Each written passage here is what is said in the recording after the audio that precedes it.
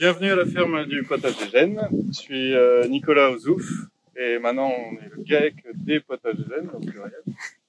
On s'est fracassé pour trouver le nom. Associé avec euh, Régis Ferré ici présent. Donc euh, je vais faire un petit point historique, euh, orga. Après on va faire un petit tour des outils, mais après on va surtout axer sur les cultures. Parce que à cette période de l'année, il y a pas mal de choses à voir au champ, donc autant en profiter. Donc moi, je me suis installé ici euh, il y a six ans maintenant. Et ça, c'est la ferme de mon grand-père, qui s'appelle Eugène, d'où le, le potager Eugène. Et je suis arrivé ici après une école d'ingénieur en agronomie à Clermont-Ferrand. Et je me suis installé directement ici et en MSV, en MSV, maraîchage sol vivant. Et avec Régis, on est associé depuis avril cette année seulement. Mais c'est arrivé Il y a bien avant, deux ans et demi, pratiquement ouais, presque trois ans. Deux années de transition pour euh, à la fois voir si ça se passait bien entre nous dans le travail et puis euh, euh, et puis au niveau administratif c'était aussi ça avait quelques avantages et puis et puis maintenant ça y est on est officiellement associés. Donc on a fait un contrat de parrainage pendant deux ans. C'est un super truc qui a permis à Régis de pouvoir toucher son chômage tout en travaillant à la ferme et en étant couvert. Et en même temps, on a pu se tester tous les deux sans avoir à, moi à lui verser le salaire. Donc qui a permis de voir que au boulot ça, tout était Et nickel. puis de, aussi d'augmenter un petit peu la production euh, pour préparer mon arrivée dans la ferme, que euh, qu'on puisse se dégager deux salaires une fois qu'on serait officiellement associé. Voilà. pareil économiquement, euh, pour avoir les reins assez solides pour supporter deux salaires.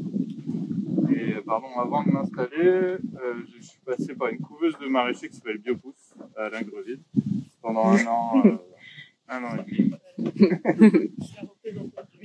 voilà. Et ouais, pendant un an, et après six mois de salariat chez Nolwenn, juste à côté de Biopousse, euh, qui m'a donné un peu un rythme professionnel. Et après, je suis venu m'installer ici direct. Et donc, euh, quand je parle de MSV, je sais pas si ça parle à tout le monde, parce que là, je sais qu'il y a des professionnels et des non-professionnels aujourd'hui. On va essayer d'être vulgariser un peu la chose. C'est du maraîchage du coup sur sol vivant. Euh, donc ça veut tout et rien dire, euh, surtout euh, en ce moment. Il y en a plein qui se qui se disent dans le mouvement. enfin bon, on va pas parler là-dessus. Pour moi, le MSV c'est un strict non travail du sol. Et donc, faut que tout- le sol soit toujours couvert et toujours nourri par de la matière organique. Donc, en gros, je suis arrivé ici en 2017. Euh, on a monté les trois premières serres et la pépinière avec des copains en une journée, monté bâché. Et j'ai commencé à, bâcher avec des grosses bâches en silage, comme ça, le sol, pour cultiver l'année d'après. L'année d'après, j'ai débâché. Et euh, donc, pour planter mes plants, je les plante sur la paille. Et pour semer, je les sème dans du compost. On va voir les différentes techniques euh, en se baladant. Ce qui fait que j'ai jamais eu à casser la prairie mécaniquement et que j'ai jamais eu à passer un outil ou quoi que ce soit. Mais euh, voilà, ça, tout ce que je vais vous dire, c'est valable ici. euh, c'est peut-être pas valable à 2 km parce qu'il y a un sol plus argileux, plus lourd, où il faut quand même au moins avoir un passage mécanique dans l'année. Voilà, moi je vous dis ce que j'ai fait ici et ce qui marche depuis 6 ans. Et après, c'est pas forcément reproductible partout. Il n'y a pas de recette miracle en fait. Euh, donc voilà, première année tout seul, euh, deuxième année euh, tout seul mais avec de l'aide parentale. Et après, euh, troisième année, j'ai salarié une amie, on a ouvert un poulailler. Quatrième année, Régis est arrivé, et puis après voilà, on a agrandi, agrandi. Maintenant, on est à euh, 9000 mètres carrés cultivés, mais la ferme, elle fait 5 hectares, tout autour d'ici. Et qu'est-ce que je pourrais dire? Ouais, donc nous, notre système, c'est un, peu un mélange de, de, de courants, euh, maraîchage sol vivant, mixé avec euh, Jean-Martin Fortil. À l'origine, je me suis vachement inspiré de lui pour designer la ferme, en fait. C'est que des jardins comme lui, des jardins qui font, euh, ben, on voit bien la, la taille d'un jardin entre les fraises et le basilic, ça fait un jardin. Et il y en a 22 comme ça, jardins, sur toute la ferme.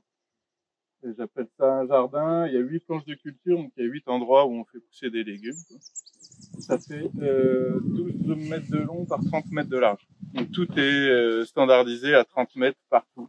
Donc toutes les bâches vont partout, euh, tous les cordeaux vont partout, ainsi de suite. Euh, Comme ça, on se prend pas la tête.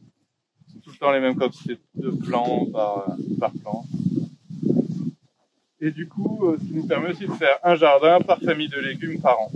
Donc, euh, vous voyez, les jardins, plusieurs jardins avec, plusieurs familles. On fait un peu un mix de toutes les séries où on peut pas faire euh, un jardin entier de salade, par exemple. On est obligé de faire des séries, du coup on va le mixer avec d'autres légumes. On appelle ça les jardins verduratiers. Un peu comme euh, Fortier en fait. Et sinon, du coup, ça nous permet de faire des rotations euh, très longues. Euh, là, depuis 6 ans, on n'a jamais refait des, une même famille de légumes au même endroit. Sous serre, c'est plus compliqué par contre, parce que c'est toujours les mêmes familles de légumes tous les ans. Donc, on essaie de faire au moins des rotations de 2 à 3 ans. Quoi. on a construit cette serre-là l'an dernier, donc ça va nous permettre de, de pouvoir faire plus de rotations. Donc, euh, qu'est-ce que ça implique de ne pas travailler son sol? En fait, ça a inspiré un peu de, du sol forestier. En forêt, il y a des arbres qui poussent, euh, et pourtant on n'est jamais y mettre de l'azote et jamais y retourner le sol. Donc, c'est bien que naturellement, ça se passe comme ça. Seulement ici, on n'a pas d'arbres pour déposer des branches, des feuilles euh, partout comme en forêt. Du coup, on va remplacer ça par de l'apport massif de, de paille, de compost de, de déchets verts. On met aussi le fumier de nos poules, euh, crottin de cheval de la voisine aussi. Et, euh, et là, on a un plan euh, BRF, donc c'est du bois raméal fragmenté et des rameaux qu'on est allé broyer et qu'on va pouvoir mettre aussi euh, dans notre champ. L'idée, c'est qu'il soit toujours couvert. Le sol, c'est comme une peau euh, humaine. C'est quand il fait trop chaud, ben, on brûle, et quand il fait trop froid, ben, on se pèle. Et ben, faut faire pareil. Il faut, faut couvrir sa peau. Et voilà, donc ça c'est le grand principe. Et ce qui fait que nous, on est dans la nutrition de notre sol et pas dans la nutrition de notre plante. Ce qui fait que notre sol est en bonne santé et la plante qui pousse est en bonne santé également. Et elle a toutes, euh, tous les outils pour pouvoir se défendre contre les ravageurs, les maladies et tout y On va bien voir que dans les serres, il y a des plants de, de tomates qui sont juste à côté de Capucine sur le bord de serre, bord de serre rempli de, de pucerons, noir de pucerons. Et il n'y en a pas un seul sur le plant de tomate pareil, toutes les mauvaises herbes qui avaient un peu poussé cette année, il y a vachement pucerons, je trouve, bah, ils vont s'attaquer au chardon, ils vont se mettre sur euh, toutes les mauvaises herbes qui arrivent à pousser entre les légumes. C'est très rare quand on est. Ou alors ils vont cibler les plants vraiment faibles et ils vont le détruire et puis terminer. Quoi. Voilà. Ça, c'est parce que, euh, comme tu dis, le sol est en vie et euh, contrairement à une culture, même en bio, on peut avoir euh, utiliser un sol comme un, juste un support euh, vide et neutre euh, sur lequel on va, on va mettre notre plante et on va apporter tout ce dont elle a besoin pour, pour pousser. ça, va la, ça va être comme une plante sous perfusion et du coup elle va, elle va être beaucoup plus sensible aux, maladies, aux, attaques, etc. Donc là, le fait de, passer par un cycle naturel du sol qui vient lui-même nourrir la plante, ça lui permet d'être beaucoup plus robuste et, moins sensible à toutes ces maladies. C'est la grande différence. Et au-delà de ça, de tous les apports nutritifs, etc., on n'est pas sur des, légumes qui sont, euh, qui sont euh, poussés avec des engrais. C'est, euh, c'est, fait euh, à leur propre rythme, ça pousse un peu plus lentement, mais c'est, euh, aussi beaucoup plus sain derrière. Et, euh, et, et voilà. Alors en gros, ce que ça implique, en plus d'avoir un sol toujours couvert, c'est qu'on a éliminé toute la partie des herbages. Enfin, éliminé pas totalement, parce qu'en réouvrant des nouvelles parcelles, on a des nouveaux adventices et là, on est surtout bien embêté avec le liseron à côté. C'était une parcelle euh, travaillée pendant des années, qu'on a, que j'ai repris il y a trois ans maintenant, qu'on cultive euh, depuis l'an dernier. Et du coup, on a très peu de désherbage, pratiquement aucun en fait. Euh, on n'a aucun achat de matériel pour travailler le sol, on n'a aucun achat de bouchons d'engrais et on n'a aucun achat de produits de traitement quelconque. Donc euh, voilà, nous, notre travail, ça résume à apporter de la matière organique. Et ça, c'est assez compliqué. Donc on s'outille euh, principalement pour ça, pour amener les 20 tonnes de paille qu'on met tous les ans et les 50 tonnes de compost pour nous préserver la santé. Mais voilà, nous, notre job, c'est ça. Après, on fait nos semis euh, en pépinière ou alors nos semis directs et on revient récolter. Et voilà. ça paraît facile, mais ça prend quand même du temps. Et après, oui, il y a d'autres aspects dans le métier qui fait que on doit s'absenter euh, pour faire de la vente principalement. On vend sur deux marchés, euh, Port-Bail et Barneville, hein, le mardi matin et le samedi matin. Et là, on, a un marché en plus l'été, le vendredi soir aussi à Port-Bail, où on organise, euh, une grande équipe de bénévoles organise des repas et des soirées festives avec des concerts. Euh, voilà pour la commercialisation. euh, voilà, nous, on s'est mis en GAEC euh, avec l'idée principale de pouvoir se dégager du temps, c'est faire de notre métier euh, passion, euh, un métier normal, donc avec des horaires euh, assez corrects et des temps de vacances et de temps de libre corrects également. Donc voilà, la base de notre GAEC, c'est d'avoir un salaire minimum de 1500 euros par mois et de travailler de 9h à 18h et puis d'avoir un week-end sur deux entièrement libre et quatre semaines de vacances par an. Euh, donc on est bien parti. L'an dernier, on l'a fait. C'est un cadre qu'on a défini ensemble euh, par rapport à la réalité, par rapport aussi euh, euh à nos envies et euh, la façon dont on voit nos, vies. Et, et ça se passe bien. Et c'est même assez. c'est la fourchette basse quand on arrive de plus en plus à augmenter ces choses-là. Donc, donc c'est un succès à ce niveau-là. Après, en termes d'expansion, on ne cherche pas à faire toujours plus. Là, on est au maximum déjà. Parce que sinon, il faudrait embaucher, il faudrait, c'est d'autres, ça implique d'autres choses. Donc, on, en termes de volume de légumes, on est vraiment bien. Et puis maintenant, à nous d'être plus efficaces, euh, d'améliorer nos, nos, pratiques pour, euh, pour être, euh, bah, pour gagner toujours un peu de temps, se fatiguer un peu moins et puis gagner un peu plus d'argent. Voilà, en gros, le, mais là, on est déjà arrivé à un stade où on peut dire que ça, ça tourne. Quoi. Mm. Il y a eu deux années quand même de transition avec mon arrivée. Et puis, puis là, ça va plutôt bien. Mais là, ça tourne également parce qu'on a de la main-d'œuvre.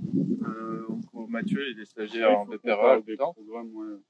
Et on a deux compagnons ferme d'avenir qui sont là.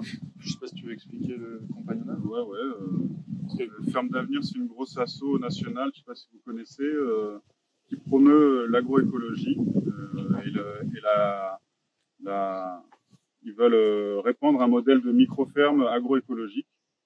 Il y en a d'autres qui connaissent bien. Guillaume, tu me dis si je dis des bêtises. Euh, euh, nous, c'est la première année où on participe au programme de, ils appellent ça le programme de compagnonnage. Donc, ils ont plusieurs volets. Là, c'est le volet formation. Donc, nous, on est euh, formateurs, en tout cas, euh, ferme qui accueille des, des, compagnons. Ils appellent ça le, euh, en maraîchage.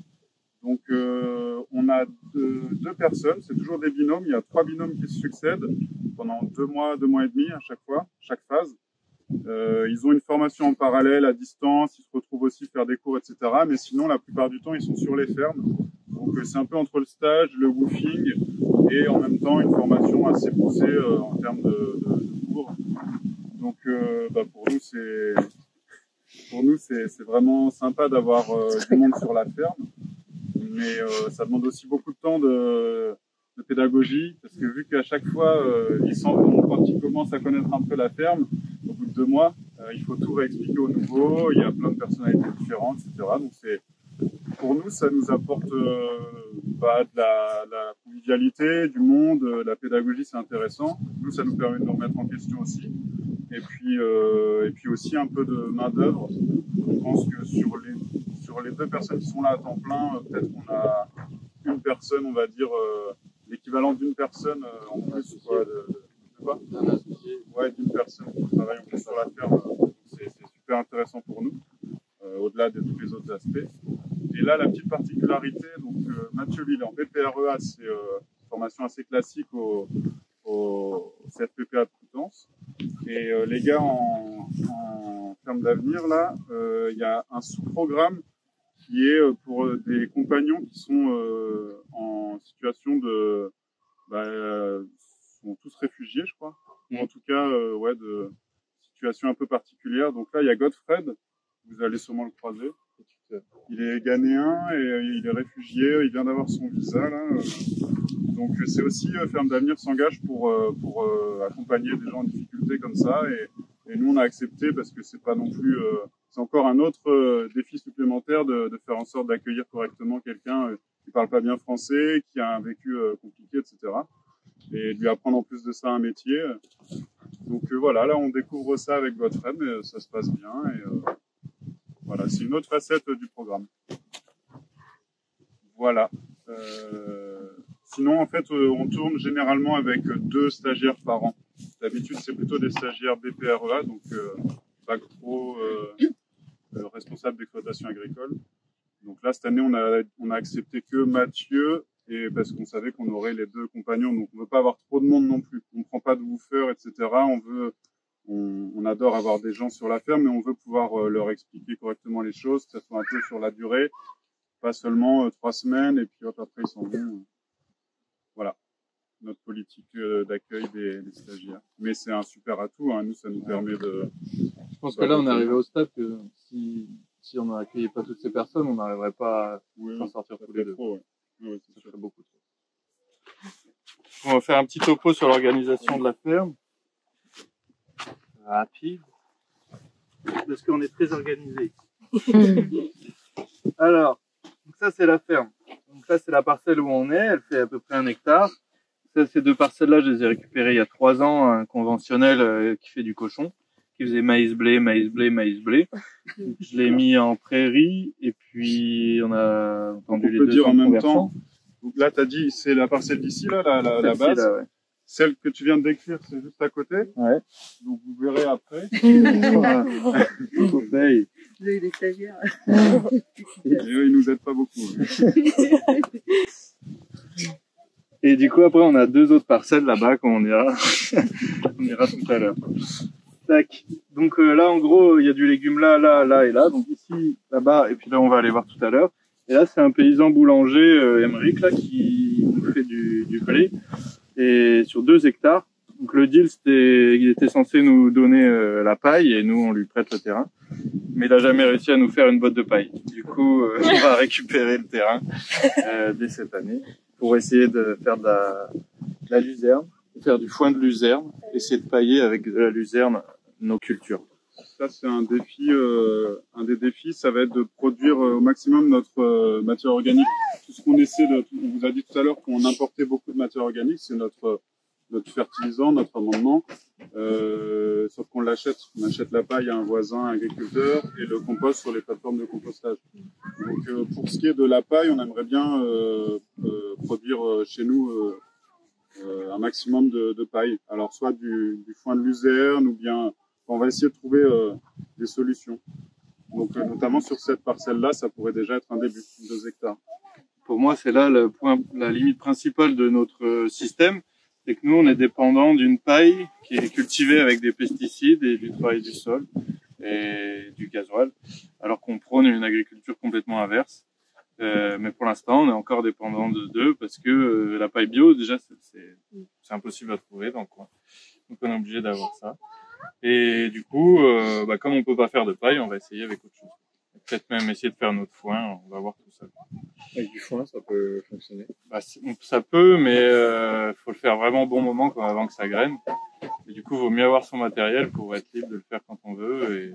Et du coup, ça implique euh, l'achat de plein d'outils différents. Et puis ça tombe. Bah, euh, c'est vachement épars. La culture, c'est vachement épars. Enfin, y a... Et puis, du coup, il y a énormément de chardon, de lison, de machin. Les gars, ils moissonnent hyper haut. En fait, il reste que de la poussière. Donc, euh, c'est ça le problème. C'est des, ouais. des variétés anciennes, généralement. Donc, c'est pas forcément hyper dense, etc. Ça peut verser. Euh, et puis, il passe après tout le monde euh, Ouais. en termes de liste d'attente, tu sais, sur les, quand le, que Ouais, c'est la des, moisson, euh, c'est la des climat, entreprises qui viennent et, euh, Forcément, le petit paysan bio, il passe à... pour une parcelle comme ça, ils arrivent même pas à passer. D'ailleurs, c'est tout un bazar pour qu'ils entrent avec leurs gros engins là-bas. Donc le résultat est pas top. Il a juste lui un peu de blé, il a des rendements pourris, mais ça lui convient. Et la paille, il y en a même pas. Donc, Donc euh, en fait, il faut, des, faut avoir de la bonne paille, il faut doubler. Euh, ah, Non, bah, non, faut être euh, le plus appliqué euh, dans la culture. si tu lui, il pourrait faire un blé qui produit de la paille. Bah ouais, le problème c'est que là, il sait le faire par des gars qui s'en foutent un peu. Quoi. Ouais, ouais. il faut être bon quand même. hein.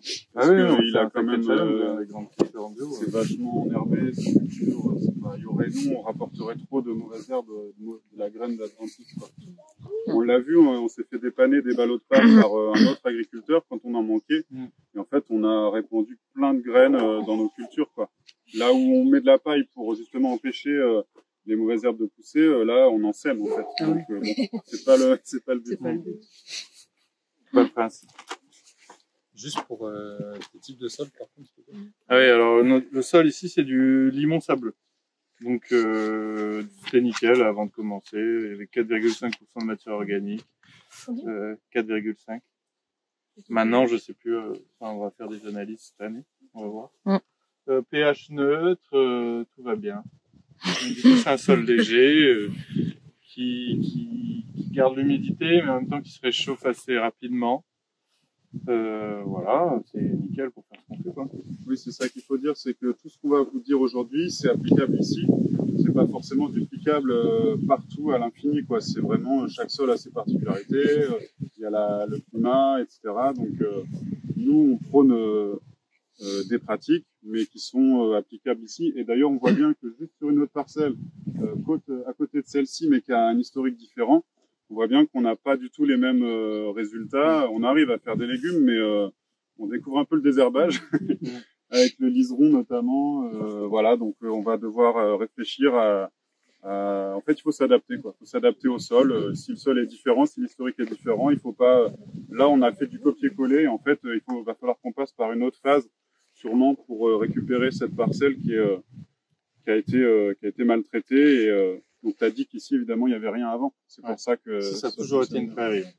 la prairie, c'est vraiment la base idéale pour démarrer en MSV euh, comme on le fait ici. Prairie non fertilisée, euh, rien. avec quelques moutons, quoi. C'était un verger à l'origine, il y a une tempête qui a tout foutu par terre, après il y a eu des moutons. Quand je suis arrivé, il y avait un cheval. euh, hectare. Et en, et en termes de ratio, puis vous avez un hectare ici, tu penses qu'il faut, si tu inclus le compost, enfin tous les intrants que vous mettez, il faudrait combien d'hectares pour euh, être. euh, Alors là, pour le compost, c'est difficile à évaluer. Combien il faudrait que tous ceux qui mangent vos légumes, ils ramènent. euh, Après Ouais, le compost, jusqu'à présent, on arrivait à s'en procurer assez facilement, euh, donc on se limitait pas, mais on peut vraiment faire des économies. On pourrait peut-être diminuer de moitié, par exemple, Mm. notre consommation. Là, on y réfléchit puisque c'est de plus en plus compliqué de s'approvisionner. Euh, donc, euh, donc, on- par exemple, aujourd'hui, on s'est fait livrer un outil là par MSV euh, euh, qui permet de semer euh, des grosses graines à travers un paillage de paille, parce que nous, on sème dans du compost, ça nous fait un lit de semences propre. Et si on peut remplacer certaines cultures qu'on fait actuellement sur compost par de la paille, eh ben déjà on économise du compost. Après, il reste à produire la paille. Mais voilà, on essaie petit à petit de. En fait, ici, on on n'a pas de. Enfin, je dis on parce qu'on est d'accord là-dessus et tu as commencé euh, comme ça. On se met pas de, de grosses limites, euh, zéro plastique, pas de bâche plastique, pas de pas de pétrole, rien du tout. On s'est mis à un cadre plutôt de de viabilité économique. Je si d'accord. Et, euh, et une fois que tout se passe bien, on essaie de petit à petit grappiller sur les trucs qui nous chatouillent, genre la consommation de compost, le gasoil. Bon, c'est vraiment, on n'en consomme pas beaucoup. Euh, on vend tout à moins de 10 km, le camion. Et, enfin, C'est plus pour avoir des ordres d'idées, en fait, savoir si, genre, pour cultiver un hectare en maraîchage comme ça, s'il en faut 10, s'il en faut 5, s'il en faut. Ben, il y a, 20, il y a aussi, euh, ouais, il y a le tout herbe, là, Ouais. tu sais, avec Hotjoy, euh, un ancien stagiaire qui lui s'installe, euh, il veut faire euh, du maraîchage euh, tout herbe, donc c'est- en gros, il fait des tombes d'herbe, il paille avec de l'herbe, qu'il coupe régulièrement, et, euh, et c'est quoi, c'est C'est un, un 5 hectare hectares pour un, c'est un hectare de légumes pour un hectare d'herbe. fois deux? Ouais. C'est plus Oui, c'est ça. 5, Ouais, ouais, 5 ouais. hectares d'herbe pour un hectare de maraîchage. Oui, voilà. Ici, il y a 5 hectares sur la ferme, et on cultive euh, à peu près un hectare. 9000 mètres carrés. Donc, tu vois, on pourrait On le faire euh, si vraiment, on, il faudrait tout remodifier là, on est parti sur un autre modèle. Mais en théorie, sur ce, ce corps de terme-là, ça serait possible. On commence quand même beaucoup à s'y intéresser. Ici, on fait pas du tout d'engrais verts. Les engrais verts, c'est des, des cultures qu'on met entre les légumes pour casser le rythme des légumes et ça a plein de bénéfices. Et ici, on n'en fait pas. Et du coup, on, on voudrait, à la place de mettre des engrais verts, faire des, semer de la prairie sur nos jardins. Des prairies de 4 ans, quoi. Donc, euh, après une culture, hop, on sème notre prairie, ça reste 4 ans comme ça, qu'on fauche pendant 4 ans. Et après, on vient recasser la prairie avec une bâche au bout de 4 ans. Et donc, euh, cette prairie-là, on pourrait l'utiliser très bien pour, euh, pour pailler euh, nos cultures. Et puis, euh, bah, du coup, avec la luzerne, c'est un peu ce qu'on qu'on va essayer de faire. Entre la paille et l'herbe, bah, c'est vachement azoté, quoi. Et tu voudrais pas faire un mélange, tu veux juste faire de la luzerne en pure. Bah, ça va finir par devenir une prairie euh, à un moment donné, quoi. Donc, pendant 2-3 ans, ce sera de la luzerne. Et puis, on va se mettre de la prairie dedans aussi. hein. Luzerne dactyle ou... On n'a pas encore réfléchi trop au truc, mais on te demandera souvent. Non, je posais juste la question Non, non, comme ça si vous avez déjà commencé à Non, je sais que t'es ça, dessus, donc c'est pour ça qu'on te demandera. Euh, voilà, du coup, j'étais compost, là, annuellement? À 500, euh, 500 tonnes, 50 tonnes. Mais on pourrait clairement diminuer. hein. Il y a des cultures à tabasser, par exemple, qui fait tout sur compost, on pourrait faire autrement. Bah, par exemple, une planche de, de haricots qu'on va semer donc euh, sur le compost. euh, Jusqu'à présent, on faisait la planche de compost classique. hein. on, a la benne attelée au tracteur, hop, ça va assez vite. Et en fait, euh, on se rend compte qu'il suffit de... Les haricots, on fait trois rangs ou deux. Il suffit de, faire, d'écarter un petit peu la paille, les résidus de culture. On sème euh, sur le sol nu euh, nos deux rangs. Et après, on met juste un petit peu de compost au seau par-dessus comme ça, jusque ça recouvre sur 50 cm. Et là, on a fait trois fois moins de compost que la planche entière, quoi. Avec, parce que ça déborde toujours un peu sur les côtés de la planche. Donc, en gros, il y a vraiment une grosse quantité de compost. Après, il faut voir aussi ce que ça apporte au sol. C'est aussi une forme d'amendement, etc.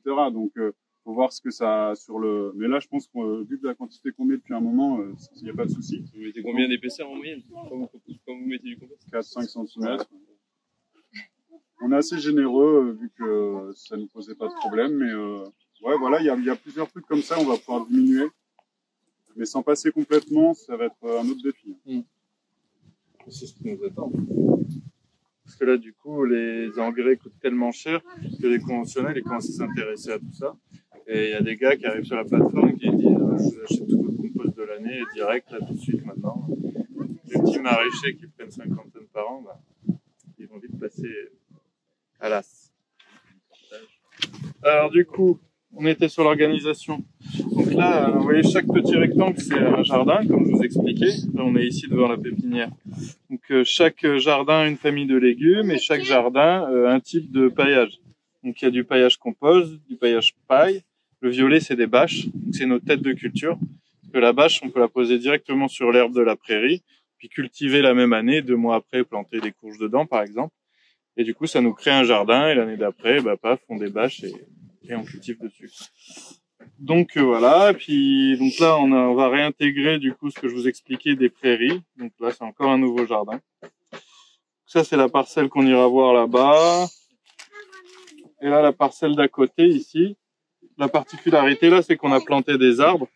Alors plutôt que de faire des rangs d'arbres dans les, les- dans les légumes comme on voit beaucoup en agroforesterie, nous on a choisi de faire des jardins vergers. Ça fait exactement la même taille que nos légumes mais que des arbres euh, fruitiers dessus. Et du coup, ça nous permet, parce qu'on a aussi 100 poules pondeuses, vous allez voir, dans un mobilhome, ça nous permet de faire des parcours euh, de, de pâture des poules, en fait. Et donc, euh, voilà, on a fait un espèce de design en V, comme ça. C'est assez particulier, parce que nous, notre problématique première ici, c'est le, c'est le vent, plutôt que la chaleur. Enfin, mais ce sera peut-être bientôt la chaleur. Donc euh, on a fait en sorte de voir casser le vent euh, dominant euh, d'ouest comme ça. Et surtout on a éparpillé les arbres partout dans la parcelle pour faire des, des couloirs euh, de, de circulation des, des, des- d'in- d'insectes, d'animaux, d'oiseaux. Plutôt que de se cantonner à une ligne, là ils sont obligés de passer de verger à verger et de parcourir toute la parcelle. Et là on a encore trois parcelles en rab pour les années à venir. Donc voilà, après ici on a tous les légumes cultivés euh, sur la ferme, euh, sur lequel on fait, euh, on a l'espacement sur le rang. Enfin ça c'est pour nos calculs à nous.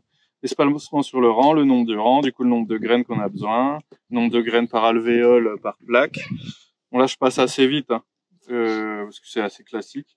Et du coup ça nous donne notre besoin en semences, donc ce qu'on doit commander tous les ans. Tac tac.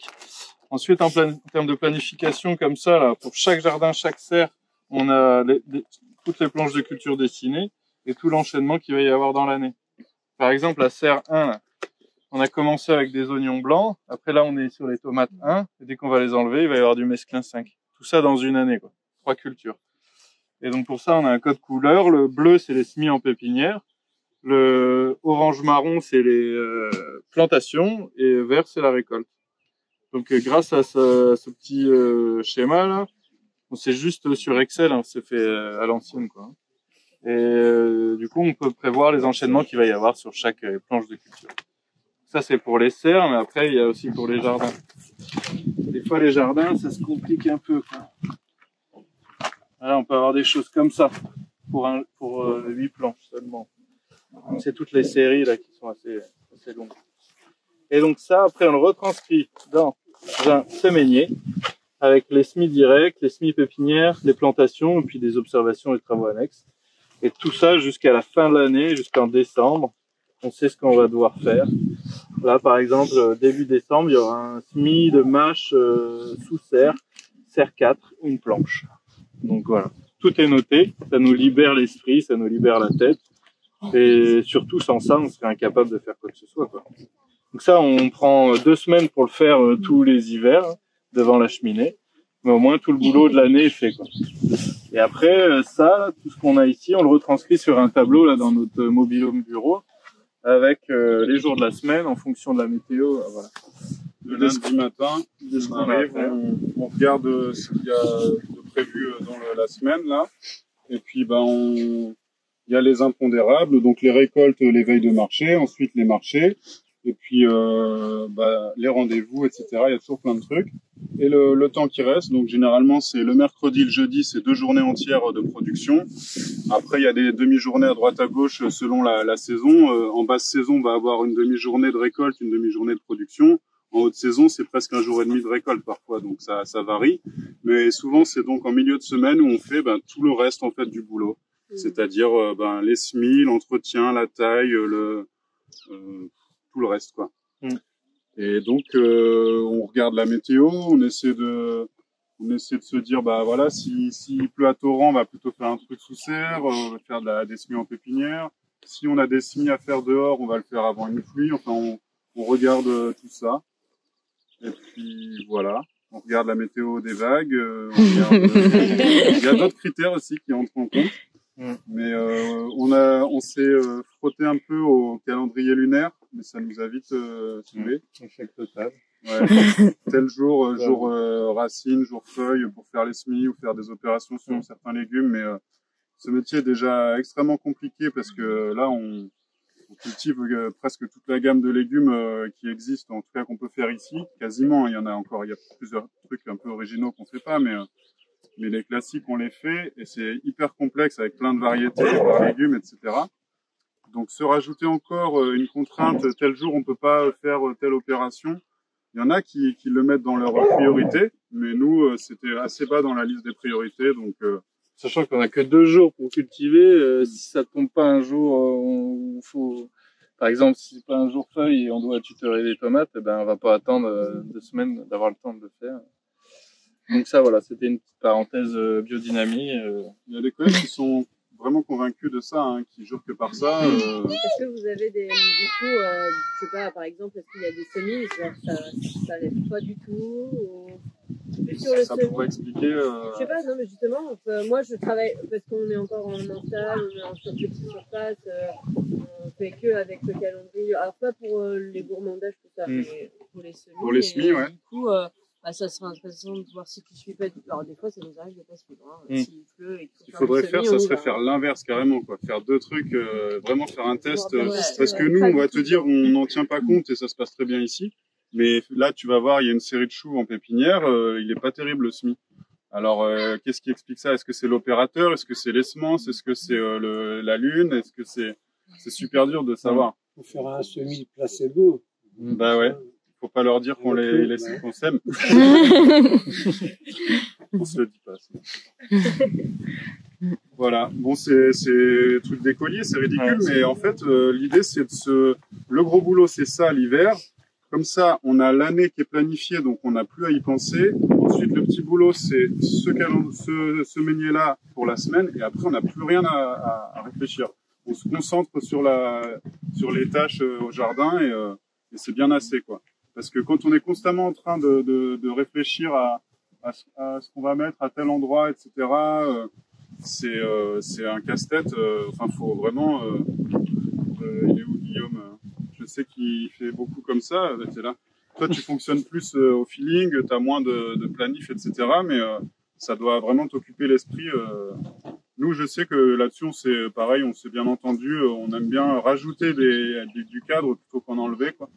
Ça nous Surtout, permet euh, de se sentir euh, plus à l'aise après dans le travail. Puis il y a du monde sur la ferme, donc c'est des outils de déjà rien qu'entre nous. Et on a rajouté au moins un ou deux outils de communication euh, parce qu'il faut quand on est deux, on est déjà plusieurs.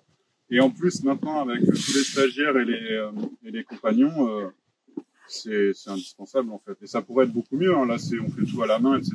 Il y a des outils informatiques, il y a plein de trucs qui existent. Mais euh, ça marche bien comme ça pour l'instant. Pour les semis en pépinière, du coup, comme on a énormément de variétés différentes, eh ben, on a nos séries placées là avec le nombre de- d'alvéoles, euh, enfin, le nombre de plaques alvéolées comme fait Mathieu là qu'on doit faire en fonction de la variété. Donc vraiment, tout est écrit et tout le travail est fait pour l'année. Après, il n'y a plus qu'à le faire. Ça, c'est costaud aussi, mais Et s'adapter aux aléas aussi. s'adapter aux Oui, après il y a, y a cette toujours, année, euh, par exemple, ouais, ça a été hyper compliqué. On a eu deux mois de vent d'est euh, continu. Et donc tout ce qu'on faisait, euh, ça stagnait, ça bougeait pas. Et donc là, par exemple, ça a été, ça a été, Hum Ou ça mourait aussi. euh, Il y a Ouais. quand même les, les, les premiers petits poils Ouais, vrai. pas ça a brûlé. Donc là, voilà, on est obligé de s'adapter. hein. On a dû racheter des plants de butternut, on en a refait, on les a replantés. Maintenant, tout va bien. Mais il suffit d'être un peu en retard et on, on oublie tout ça et on perd des cultures. Mais là, ça va mieux. Il s'est mis à pleu... Le vent a tourné à l'ouest, il a plu le même week-end. Et en l'espace de deux jours, on avait presque un mois de croissance qui était, qui avait pris. C'était incroyable. Vous avez pensé à planter des baies entre les Bah, on y pense. Des haies, Ouais. Surtout euh, entre, mais pas entre les jardins. quand on a dessiné la parcelle d'à côté, qui était une page blanche où on s'est amusé à dessiner ce qu'on allait faire, on avait aussi prévu de, donc on a acheté pas mal d'arbres et on s'est dit, bah, on va aussi en planter sur celle-là. Et on avait prévu des haies, et puis en fait, euh, euh, il y a quand même euh, le côté très pratique de la ferme qui est vachement important pour être efficace dans son travail, notamment les passages d'engins. on a quand même, vous, allez voir, des, des- gros engins, la pailleuse, c'est un gros truc.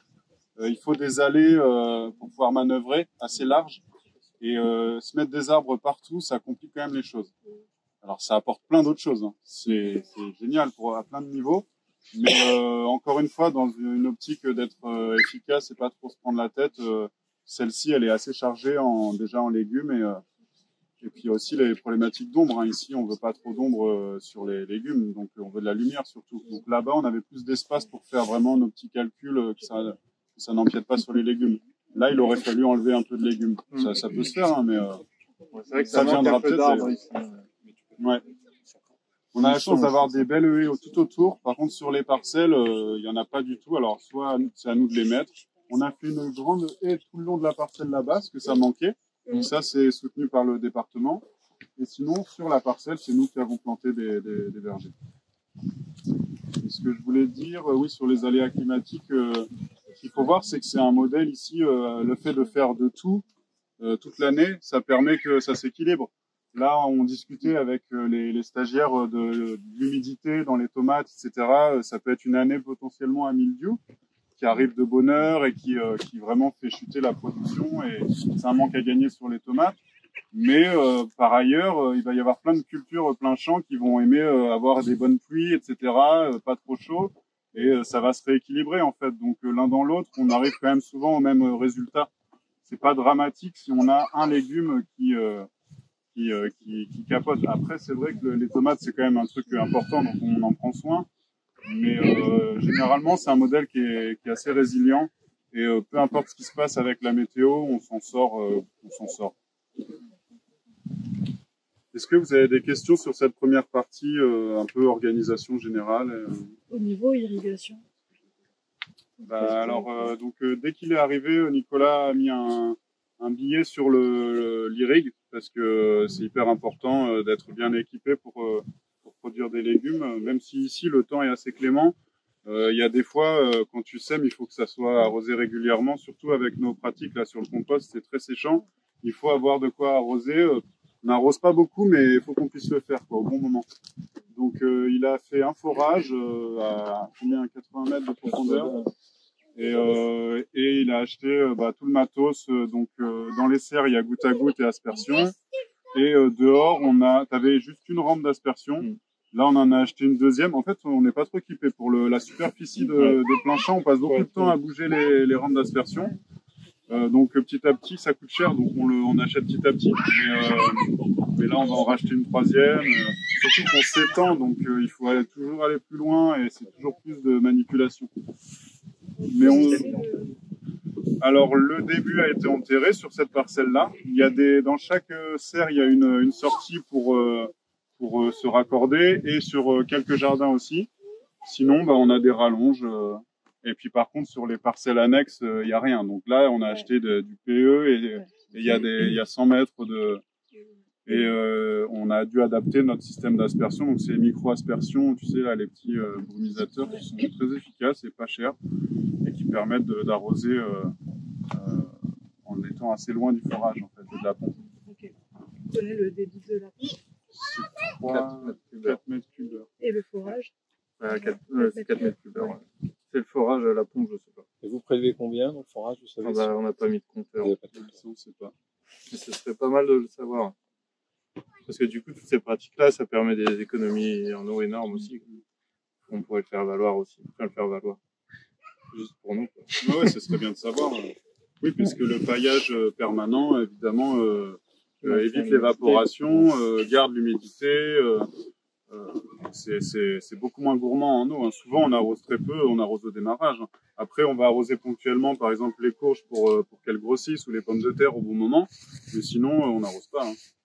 Vraiment, quand il y a une sécheresse, si les légumes souffrent trop. Mais euh, l'eau, pour nous, à la fois, c'est à volonté, entre guillemets, avec le forage, et pour l'instant, il n'y a pas de problème. Et en même temps, on n'en abuse pas, puisqu'on n'en a pas trop besoin. Est-ce que vous êtes sur la nappe où la sort euh, prélève pas très loin ou c'est Normalement, c'est une, une rivière souterraine. là, qui passe en dessous. euh. Ouais, je crois. Peut-être. Et En vous tout cas, j'ai avez, jamais manqué d'eau. vous avez testé le sol euh, au début et après, euh, après 5 Non, faut qu'on le fasse ça cette année. Bah, L'analyse que tu avais faite, c'était la première année. Ouais. Donc là, On va va faire une cette année euh, avec Ouais. LPV, on On va pouvoir comparer. Ouais. Ça va être intéressant aussi. Et au niveau des vergers, vous avez planté vraiment pour la biodiversité ou pour garantir une production de fruits quand même? Ouais, non, on est en mode euh, fruits. On a même écarté les espaces euh, qu'on conseillait par, le, par Daniel. On les a doublés, mais on a juste un arbre, 6 mètres après un arbre.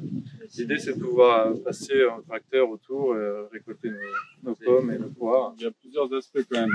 Pour, euh, il, y avait plusieurs euh, objectifs dans ce projet. Ouais. Il y avait, euh, on a une grosse problématique de vent ici sur la côte, le vent d'ouest. Donc euh, l'idée c'était euh, en les répartissant de cette manière-là, c'est déjà la haie qui va faire rempart, qui a été faite sur un talus d'un mètre, etc. Et puis ensuite répartir les vergers pour casser le vent, euh, pour que ça attaque moins les légumes. Donc, déjà il y a ça.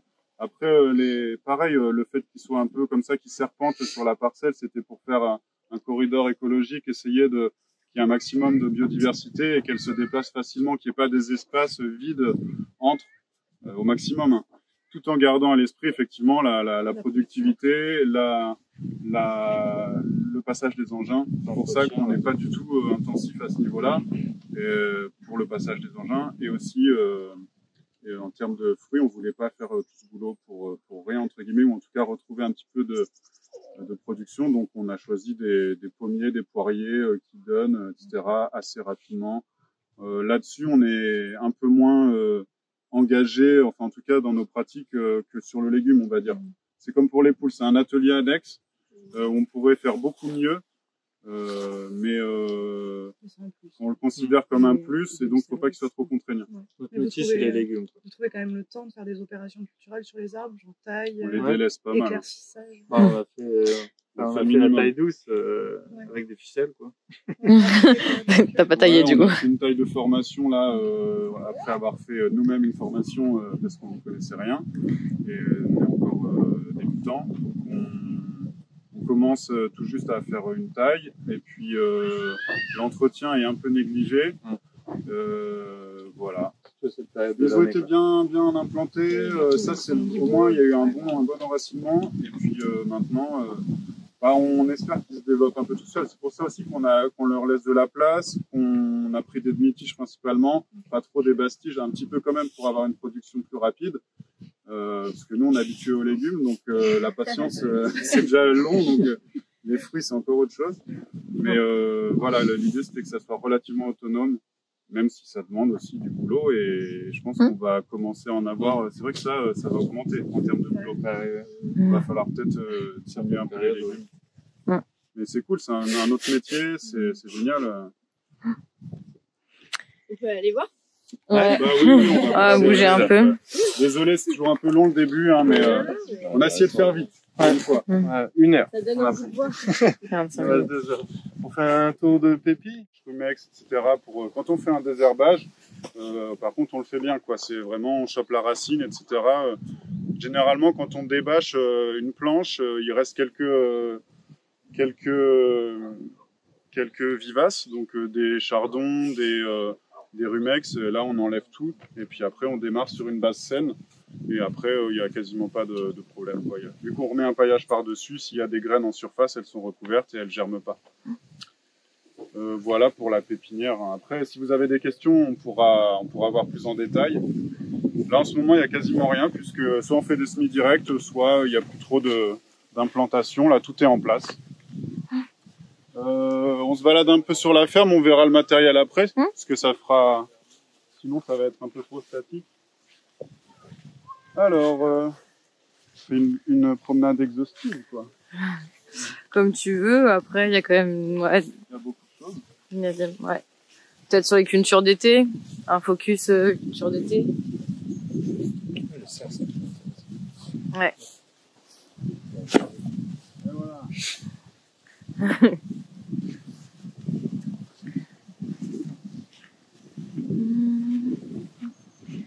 t'as mis un filet devant pour les oiseaux? Ah ouais, ici, euh, sur la première série de tomates, euh, si on met pas de filet comme ça, les oiseaux, euh, ils nous, euh, ils nous ravagent tous les premiers bouquets. Euh, il suffit de, il suffit de le mettre en début de saison comme ça, et euh, en fait, ils, ils renoncent, ils vont voir ailleurs, et après, on peut l'enlever, il n'y a pas de souci. Mais s'ils se, ils trouvent le, le spot et qu'ils se le disent entre eux, alors là, c'est fini, euh, ils restent là pendant trop longtemps, et on a eu vraiment des, gros dégâts là-dessus. Après, ça peut être lié aussi euh, à l'humidité. L'année dernière, avec euh, la sécheresse qu'il y avait, euh, ils viennent chercher de l'eau aussi dans les tomates, donc ils viennent picorer un peu partout. Donc là, les filets, ça permet d'éviter ça. Donc voilà, ça c'est la première série de tomates. Je sais pas si je rentre dans les détails parce qu'il y a des, des pros et des non pros. Alors vous me posez des questions si vous avez des questions plus précises, mais de manière générale, ben voilà, euh, nous on fait, euh, on a nos planches de culture, les, donc c'est les planches permanentes. Pour les tomates, on choisit de les planter en, sur un seul rang et que on vient tutorer en, comme ça en V. Donc l'idée c'est que déjà on circule euh, euh, facilement dans les allées avec un chariot de récolte pour euh, toujours au niveau ergonomique euh, se, se ménager et puis euh, que ça ventile au maximum quoi. Donc euh, il y a des couloirs d'aération dans les allées et normalement entre les entre les, les tomates aussi. Bon là ça commence à être bien chargé donc ça ça ça stagne un peu mais bon on peut effeuiller davantage etc. Euh, voilà hein, pour les tomates. euh, Il y a plein de façons de cultiver les tomates. Hum, si vous avez des questions n'hésitez pas mais euh, nous on est assez classique, on fait sur un seul, un pied de tomate, euh, un, une tête. Il y en a qui font partir sur plusieurs têtes. On est gourmand de tout, euh, et puis voilà. Et on a des bons résultats, on n'a pas de problème particulier. Il y a, il y a quelques petites carences parfois qui apparaissent. euh, vu que nous, on n'apporte rien du tout, comme engrais, bah, il n'y a pas de potasse, des choses comme ça, donc ça peut manquer parfois, mais bon. C'est pas flagrant. fertile du tout, euh, le fumier, rien du tout. pour Bah, il y a de la fertilité euh, de, de la part des matières organiques, quoi. Oui, du fumier de ouais. poule, de la. Par exemple, sur les tomates, on va mettre euh, au début de l'herbe de tonte pour euh, faire un, un booster en azote, quoi. Tout ce qui est euh, matière fraîche. Le fumier de poule, on y va vraiment mollo parce que c'est très très riche en azote et ça peut même être trop, quoi. Et euh, si tu surfertilises en azote, tu vas avoir des problèmes qui apparaissent de, de justement de, de pucerons ou d'autres choses. Donc euh, Et après, vous, genre, vous les. Avec les vous les, vous les couchez au fur et à mesure ou Non. Ouais, on va là, on va étêter en fait quand il y a suffisamment de bouquets de tomates, euh, on, on coupe la tête pour que les tomates mûrissent parce que quand ça passe le, le, Ouais, le ouais. fil là-haut, euh, les, les tomates vertes elles mûrissent jamais en fait. Donc euh, autant que, que ça aille un peu plus vite. Euh, et les Les petits rouleaux là, non, c'est juste pour faciliter le, le tutorage, mais on, on les utilise pas pour les, les déplacer effectivement. Je sais que ça se fait aussi, mais Déplacer quoi? Les En les fait, bobines. Quand tu arrives en haut, tu, vu que tes feuilles en bas, tu couches au fur et à mesure les tomates. Ça te permet en fait d'avoir plus de bouquets. Mais c'est vrai que dans le Cotentin, euh, au niveau Hmm. lumière, La saison est pas hyper longue, ouais. En fait, au- au-delà de 8 bouquets, euh, bon, ça a du mal à mûrir, mais euh, dans les régions où il y a plus de soleil plus longtemps, ça te permet de faire 2-3 bouquets en plus. Ok. Donc, quand tu t'es bas, Et euh, la petite euh, subtilité, c'est euh, toujours penser à l'après, notamment sur des, grosses cultures comme ça. euh, ça va être le chantier pour, euh, pour euh, enlever la culture. Donc là, on a privilégié du fil biodégradable. Donc la ficelle, en fait, on va juste sectionner la base du pied parce qu'on n'arrache jamais les plants de légumes. On laisse toujours le système racinaire se dégrader dans le sol. Donc on coupe la base avec un taille-haie ou bien une débroussailleuse et on coupe le, le fil et ensuite euh, tout est euh, tout est compostable. Donc euh, ça va très vite. Euh, soit on l'exporte avec le tracteur et on va le mettre on va le broyer euh, dans un coin du jardin soit on le laisse sur place euh, ça dépend. Mais l'idée c'est que ça aille vite aussi à enlever parce qu'avant quand c'était un fil plastique il fallait enlever le fil il y avait des clips aussi enfin il y avait plein de trucs vraiment très chronophages et il faut il faut penser à la suite optimiser la, la fin de l'été où on est un peu fatigué et on n'a pas trop envie de passer des journées entières à, à déblayer tout ça Parce qu'après, le tunnel, il est remis en culture. Non-stop. hein. Il y a une autre culture après les tomates direct. Ah.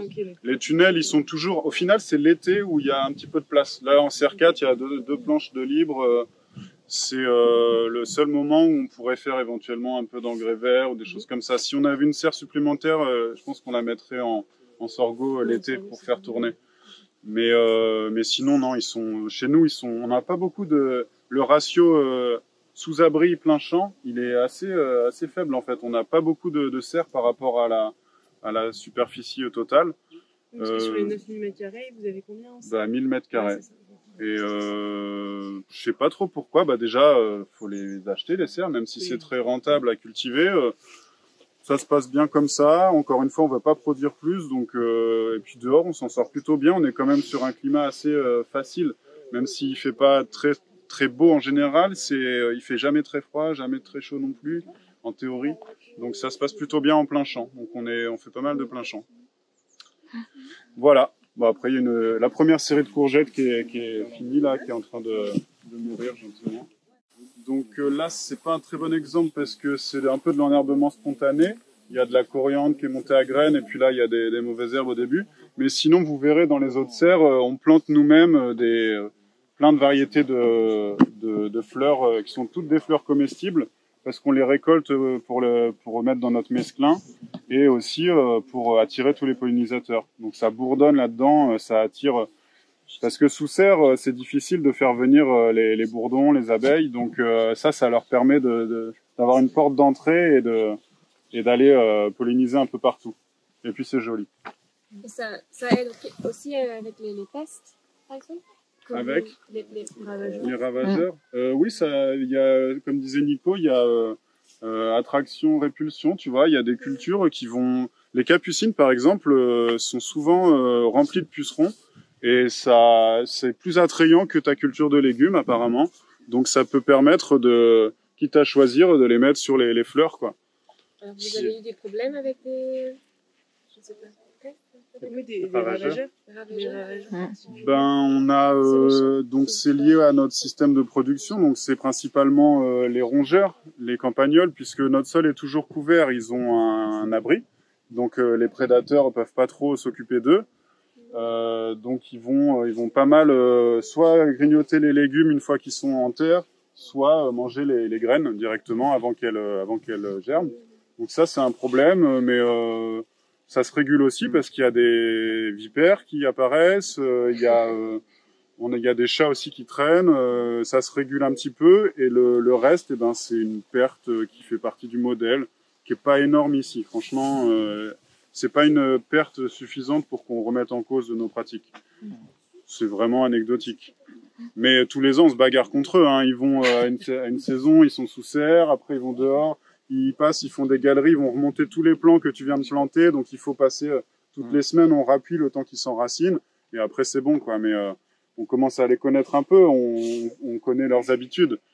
Euh, par exemple, quand on fait un semis de, de petits pois ou de haricots, donc des belles graines bien appétissantes, euh, on va pas leur mettre une bâche juste à côté de la planche parce qu'ils vont avoir euh, l'abri et hop, ils vont aller manger et repartir se cacher. On va découvrir volontairement, comme on a fait là, sur un mètre, pour qu'il y ait au moins une zone où ils vont, ils peuvent se faire prédater par euh, par, euh, par quelqu'un, quoi.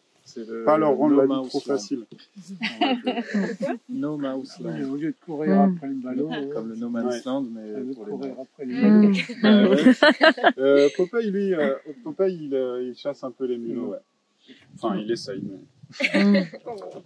Mais oui, on est très dans la régulation donc, des ravageurs. on- Au début, j'étais vachement embêté par les limaces et par les taupins, mais j'ai jamais rien fait. Et ça s'est régulé. J'ai plus de problème de limaces et de taupins. Euh, euh, il y a des années où il fait chaud, les merles vont venir manger toutes nos tomates. On a mis un filet, voilà, terminé.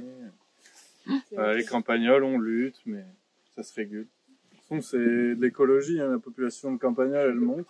T'as les vipères qui sont pareils, après ça monte et les campagnols se cassent la gueule et les vipères aussi, on les voit plus. Euh, cette année, il y a beaucoup de vipères et on n'a pas énormément de problèmes de campagnols en début de saison. Et là, ça doit, on doit être... euh, T'en vois beaucoup régulièrement, ouais. Les campagnols Non, des vipères. Les vipères, ouais. Aujourd'hui, non, il n'y en a pas. Mm. Merci. les vipères péliades, ouais, il y en a pas mal. ici. Et, faut faire euh, gaffe, on marche. Ouais. Ouais, elles sont sous les bâches, en fait, généralement, elles sont au chaud. Et Ouais. quand on débâche, c'est là où t'as, ou bien sous la paille, euh, quand on récolte les pommes de terre. euh. ouais. Mais oui, juste dernier exemple sur la régulation. Par exemple, sur les plants qu'on a achetés, donc euh, poivrons, aubergines greffées, qui étaient euh, ravagés par les pucerons, on s'inquiétait pas mal parce qu'en plus ça coûte cher. Euh, en fait, euh, là où on s'en est sorti, c'est quand euh, les auxiliaires sont arrivés. Les coccinelles, euh, elles ont mis du temps à arriver, les cirques, etc. Mais quand on les a vus apparaître, ça prolifère et là, ça a régulé. Et donc, euh, faut pas être trop stressé, mais euh, mais faut faire confiance en fait, euh, parce que si tu commences à lutter euh, avec des moyens extérieurs, euh, à balancer des produits, tout ça, ben les auxiliaires ils vont pas venir et tu vas être sans cesse en train de, de, de rapporter des produits, des trucs. Donc nous, euh, on essaie de tenir bon et de faire confiance à la nature et, et à chaque fois ça, ça marche. Les coccinelles, elles finissent toujours par faire le boulot et on n'en achète pas non plus parce que ça se fait d'en libérer, faire des lâchers, etc. Là, ça se régule tout seul ici. On, on met beaucoup de voiles aussi anti-insectes, toutes les cultures. Donc, voilà. C'est un jardin euh, fraises et aromatique. Euh, c'est le seul jardin qui a des rotations sur trois ans. Donc là, on l'implante pour trois ans. Là, c'est la troisième année. Maintenant, on va le décaler ailleurs pour trois ans. Et il y a un autre jardin comme ça, c'est là où il y a les artichauts et rhubarbe. Donc voilà, les fraises, euh, là, ça donne plus grand chose, mais, euh, mais ça a donné vachement. C'est des remontants ou... Je sais plus. Ouais, c'est Ouais. ouais. remontant. Voilà. Mais là, on a un espèce de champignon qui les tache. Dès qu'il pleut, en fait, euh, toutes les fraises sont tachées et du coup, on, on un perd un peu espoir. Et du coup, là, pour ces genres de cultures qui, qui sont bâchées, on va pas pouvoir refaire de rapport de, de matière ni de fertilisant. Donc là, avant de bâcher, on avait mis du BRF, du bois fragmenté euh, partout, quoi. Donc là, ça va, se ça va être mangé pendant trois ans, puis on va refaire ça ailleurs. Et l'année prochaine, il y aura des légumes. Donc euh, là, c'est un jardin, on voit. Là, on passe au jardin numéro 2. Donc ça, on utilise beaucoup, c'est des bâches à ensilage. Euh, si on en prend soin, elles ont une durée de vie de 3-4 ans. Donc ça, c'est un problème, hein, parce que c'est, on utilise du pétrole, du plastique. Mais on se dit le boulot que ça fait par rapport au nombre de passages de tracteurs qu'il aurait fallu pour la même chose. Je pense qu'on est largement gagnant par rapport à la production d'engrais euh, et le pétrole que ça utilise, euh, au traitement et le pétrole que ça utilise et le travail du sol. Donc il y a des calculs qui ont été faits par Vert de Terre ou MSV là-dessus. Mm. Tomber de la brouette. Ah. Là c'est un jardin euh, verdure racine. Donc vous voyez là on a mis le compost de déchets verts. Donc il y en a à peu près euh, voilà, 5 cm comme on disait. Et après on passe directement avec le semoir à l'intérieur. Et là vous voyez j'ai semé de la betterave la semaine dernière, ça commence à lever. quoi. Bon, on voit les rangs. hein. La zone travaillée, elle fait combien en largeur? Vous devez en mettre? Alors, c'est pas travaillé. Pardon. 90 Elles ont cm, c'est l'empattement du tracteur en fait. 90 cm sur 30 mètres. Et 45 cm de passe-vide. Parce que je fais du 45. D'accord. Donc, vers de racines, là, on mélange voilà, un peu toutes les cultures, comme je vous expliquais, on peut pas faire euh, un jardin entier. Ça, c'est notre mesclin. Euh, là, il y en avait un très vieux, là, il y en a un moyen, et puis là-bas, il y en a un nouveau, on voit qu'il est en train de lever. Ça, on les sème à la volée. On, on pèse le nombre de graines qu'il nous faut, on sème à la volée, on recouvre avec du terreau. Et puis voilà. Ça, ça a été complètement raté parce que ça n'a pas été euh, arrosé. On voit l'autre là-bas, on va passer par l'autre côté, on voit qu'il est en train de lever, il a l'air nickel. Ça, c'est d'autres séries de betteraves qu'on a fait un peu avant. C'est un peu dense, mais on va ramasser les premières pour faire des bottes. Et du coup, on va éclaircir comme ça. Ça, c'est des variétés euh, plus particulières, la golden et la thuringia. Et ça lève un peu moins bien, donc c'est pour ça, là, ça fera des grosses betteraves. Là, on arrive sur le jardin fabassé. Donc là, c'est ce qu'on disait tout à l'heure, on fait tout sur compost. Et c'est aussi ce qu'on disait tout à l'heure, les petits pois, c'est un échec cette année. Donc euh, il y en a la moitié euh, qu'on brûlait à cause du vent d'Est et l'autre moitié, à l'autre, un quart bouffé par les pigeons. Du coup, il nous reste un quart qui a levé. Mais ça nous fait quand même des belles récoltes, euh, mine de rien. Et les haricots, dehors, on fait que du haricot nain. Et on, pareil, en semi direct. En fait, c'est semé, euh, c'est simple, c'est semé, euh, on commence sous serre avec euh, des haricots rames qu'on voit là-bas. Euh, on fait pas de petits pois sous serre, on va essayer de- d'en faire des, des grimpants. L'avantage, bah, c'est de profiter de la, de la hauteur et des- des- du palissage. Et dès qu'il fait suffisamment chaud dehors, euh, on passe euh, sur les semis en direct avec des variétés naines. Donc toutes les deux semaines, on fait un semis. Comme ça, on régule. Parce que nous, l'objectif, euh, en tant que maraîcher, euh, euh, qui, qui vendons euh, tout en direct sur les marchés euh, toutes les semaines, toute l'année, il faut de la diversité euh, tout le temps. Donc euh, on étale au maximum tout ça. Donc toutes les deux semaines, on fait un semis. On commence par les petits pois, euh, quatre séries, et ensuite là, on, est, on voit bien euh, sur les haricots euh, ceux-là qu'on a commencé à récolter euh, cette semaine. Les autres qui sont en train de pousser, qu'on va, qu'on va bientôt récolter. Et là, la troisième série qui est en train de lever. Et la quatrième qui sera euh, sous la bâche. Donc là, vous avez vraiment les différents stades euh, des, des semis, des cultures.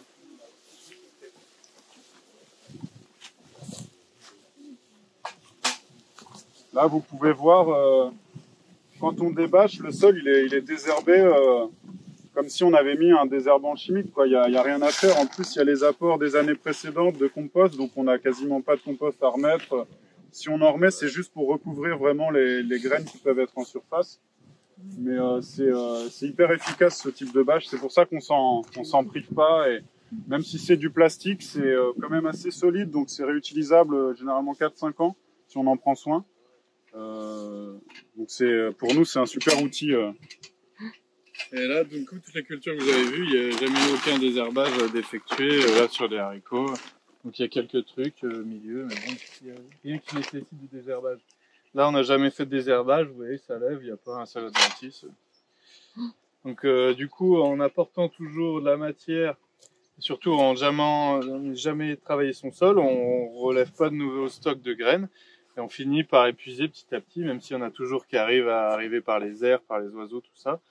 Mais au final, euh, sous serre, on a presque épuisé tout le stock de graines, hein, il n'y a pas d'adventice. Et dehors, bah, petit à petit, ça va. Mais il y a des nouvelles, euh, nouveaux adventices qui apparaissent, comme le liseron, et on a plus de mal à, le gérer. Donc là, c'est pareil, on voit bien, euh, on a un problème d'aspersion, les deux bouts sont beaucoup moins arrosés que le milieu.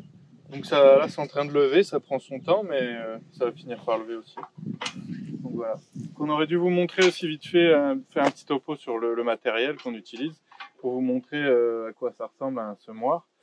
Et surtout ça, c'est important aussi, c'est tout ce qu'on plante. Donc tout ce qu'on fait en pépinière, on le plante dans de la paille qu'on met grâce à cette pailleuse là, jaune, paille jaune, ou alors à la main quand c'est planche par planche.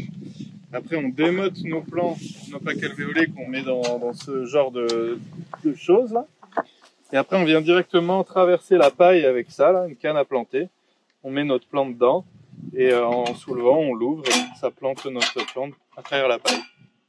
Et du coup, quand on a un rythme normal, ça fait comme ça. Et on fait une planche euh, assez rapidement.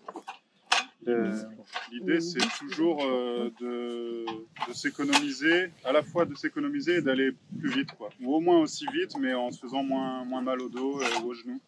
Donc, euh, on est toujours à la recherche de, de techniques ou d'outils. On fait pas mal de visites de ferme, on va voir les collègues, on discute, etc. On achète des trucs qui, on détourne les objets. Euh, souvent, ça, c'est des trucs de récolte, en fait. Euh, les, les sacs de récolte, on les utilise, bah, nous, pour mettre nos plants et ça nous permet de, de travailler debout. Euh, ça, c'est plutôt pour les, les pommes de terre à la base. Ils appellent ça un truc à pommes de terre. un- Chantoir à pommes de terre, ouais. Il y en a, il y a plusieurs modèles pour des grosses mottes. Pour planter des grosses mottes, par exemple, donc euh, ceux que- qu'on fait dans les godets, tout ce qui est tomates, aubergines, tout ça, ou courges. euh, au lieu de faire un trou au plantoir et se faire euh, des tendinites, etc., et d'être accroupi, euh, on a euh, un- une grosse visseuse, là, un perfo, avec une tarière dessus et avec une batterie euh, électrique, et on vient euh, faire des trous de la taille de la, la motte, euh, comme ça, toujours debout, sans aucun effort. Fait peut-être un petit intermède. euh, Oui, on va le faire, ouais. après. Avant Ouais, de- parce que là, on, on Ouais. va débattre. vous montrer. On monte vite fait, euh, Ah, tu veux aller voir les outils si tu veux bien visualiser les choses. Donc tous les plants qu'on fait en pépinière, là, où on voit les plaques, là, on les démode, on les plante avec ça à faire la paille. Et là, on va aller voir les semences. Mais moi, ce qui fait, c'est que ça. Et qu'on fait sur compost, on les sème avec des semoirs c'est là-bas. Petite motte, on a la canne à planter je vous ai montré. Et ça, c'est pour les grosses mottes. Ça fait la taille des, des, des grosses mottes. Donc là, on va directement, toujours en travaillant debout, percer euh, à travers euh, bah, la terre, quoi. Et puis euh, ainsi de suite. Après, il n'y a plus qu'à planter. Là, on y va à quatre pattes par contre. Euh, donc ça, par contre, à travers la paille, ça marche pas. Il faut faire des petits nids. En général, les grosses mottes, c'est des gros espacements. Du coup, ça va très vite quand même. Euh, les semoirs, du coup, c'est on a ça en semoir pour les, petites graines et ça pour les grosses graines. Le principe est simple, hein, vous mettez des graines euh, dans le machin, hein, dans le réceptacle à graines. Euh, ça, ça ouvre un sillon. Euh, la roue entraîne un disque à l'intérieur du semoir, fait tomber la graine dans le sillon. La chaîne, ça le referme et ça, ça le tasse. Ça, c'est exactement pareil, mais avec un disque ouvreur là pour les résidus de paille, c'est pas mal. Et puis ça, ça referme ça, ça tasse. Tac. Voilà, donc tout ça, on l'utilise sur le compost. Directement, on sème dans le compost. Et l'autre outil euh, intéressant, là, c'est la récolteuse à mesclin. Et du coup, le mesclin, ça ne prend vraiment pas beaucoup de temps. On le sème à la volée, comme on vous a montré. Et après, on le récolte avec ce genre d'outil-là, qui fonctionne avec une visseuse. Donc en fait, c'est une lame euh, comme une lame de tondeuse, de tondeuse à barbe, quoi. Et euh, voilà, elle bouge dans ce sens-là. Et là, il y a des petites cordelettes qui viennent fouetter le mesclin pour le jeter à l'arrière. Donc la lame, ça coupe, et la corde, ça se jette à l'arrière. Et donc ça, bah, ça fait économiser euh, presque une heure de travail euh, chaque fois, tous les jours. Voilà, c'est le petit intermède. Et du coup, ça, c'est le seul bâtiment qu'on a. On stocke euh, notre matériel ici. On a fait une chambre chaude pour les courges. Euh, voilà, c'est la seule chose qu'il y a à regarder. Avec des panneaux sandwich, si vous voulez voir. Des semis. Donc voilà, là, c'est toutes les, c'est des choux, brocolis, choux-fleurs. Là, on a déjà un peu tout ramassé. Il en reste quelques-uns seulement. Et voilà, voilà c'est un peu ça. C'est un garçon ou une fille celui-là Ça, c'est. Je sais pas si quelqu'un veut manger un chou-fleur à midi. Ah tiens. Un souvenir. Et donc là, pour tous les choux, direct, on met euh, un voile euh, Climatex comme ça, contre les papillons blancs là qu'on voit partout, qui sont des pierrides, et qui, dont les chenilles mangent euh, les choux. Adore les choux. Comme là, on a fini de récolter, là on voit l'effet des, des, des chenilles sur la feuille. On a fini de récolter, on laisse ouvert, mais on n'a pas encore récolté. Et au Voilà. niveau de l'eau, là, sur cette partie, donné qu'on est en bâche tissée, comment vous gérez justement Pour L'eau. Au niveau de l'eau. Ah, bah ça, ça est perméable, enfin, ça laisse passer l'eau. Ouais. ok. Et les, pour les bâches tissées, en général, quand on les reçoit encore en rouleau, je les, je les perce avec une petite mèche. Ah oui, d'accord. Et encore enroulé, du coup, ça quadrille toute la bâche euh, et ça laisse passer l'eau aussi. Ok. Mais maintenant, on se rend compte qu'avec le liseron, euh, ils arrivent à trouver ces petits trous et à passer, et que c'est mieux d'avoir une bâche euh, pleine pour le liseron. Quoi. Voilà, il n'y a pas de problématique. Lison ici, c'est vraiment de l'autre côté. Ouais, c'est l'autre parcelle. Mm. Ici, j'en ai amené avec du compost d'un agriculteur du coin, donc ça, ça m'embête un peu, qui a un petit foyer par là. Mais on voit pas. Ok. Il y a un tapis roulant qui l'entraîne dans le fond, et là, il y a une espèce de gros rouleau qui l'émiette. Et dans le fond, un énorme ventilo qui le propulse par derrière, là, par la gouttière. Donc ça, euh, on paille un jardin en, je sais pas moi, en 10 minutes. Un jardin entier, quoi. Alors qu'avant, j'y passais euh, 3 heures à la main. et à la fourche. ça faisait moins bien le boulot. Et ça faisait moins bien le boulot, en plus. Ouais, bah pour certains trucs, euh, bah, la plupart de nos outils, voilà, c'est pour euh, parce que même la première année, j'avais pas de tracteur, donc je poussais tous les ballots à la main de 250 kilos. Quand il fallait aller le mettre tout au bout du champ, euh, ça me prenait déjà une petite heure. Tu vas pas après, je après. Non, y a pas besoin. Ça demande de la puissance. Bah oui. Mm. Bah ça, ça demande de la puissance. On a un tracteur de 65 chevaux, et je pense qu'il faut pas moins. Parce que même ça arrive à le faire caler. Donc, donc ça, au niveau des tracteurs, moi je suis vraiment partisan des, vrais tracteurs et pas des micros, ni des moto-occulteurs, quoi que ce soit. Parce que au moins avec un vrai tracteur, on n'a pas de limite d'utilisation d'outils. De toute façon, c'est, enfin moi je trouve que c'est essentiel hein, pour transporter des trucs euh, quand t'as 20 tonnes à transporter ou 50 tonnes. Faut pas le faire à la brouette, quoi. hein. Ou alors tu le fais qu'une fois.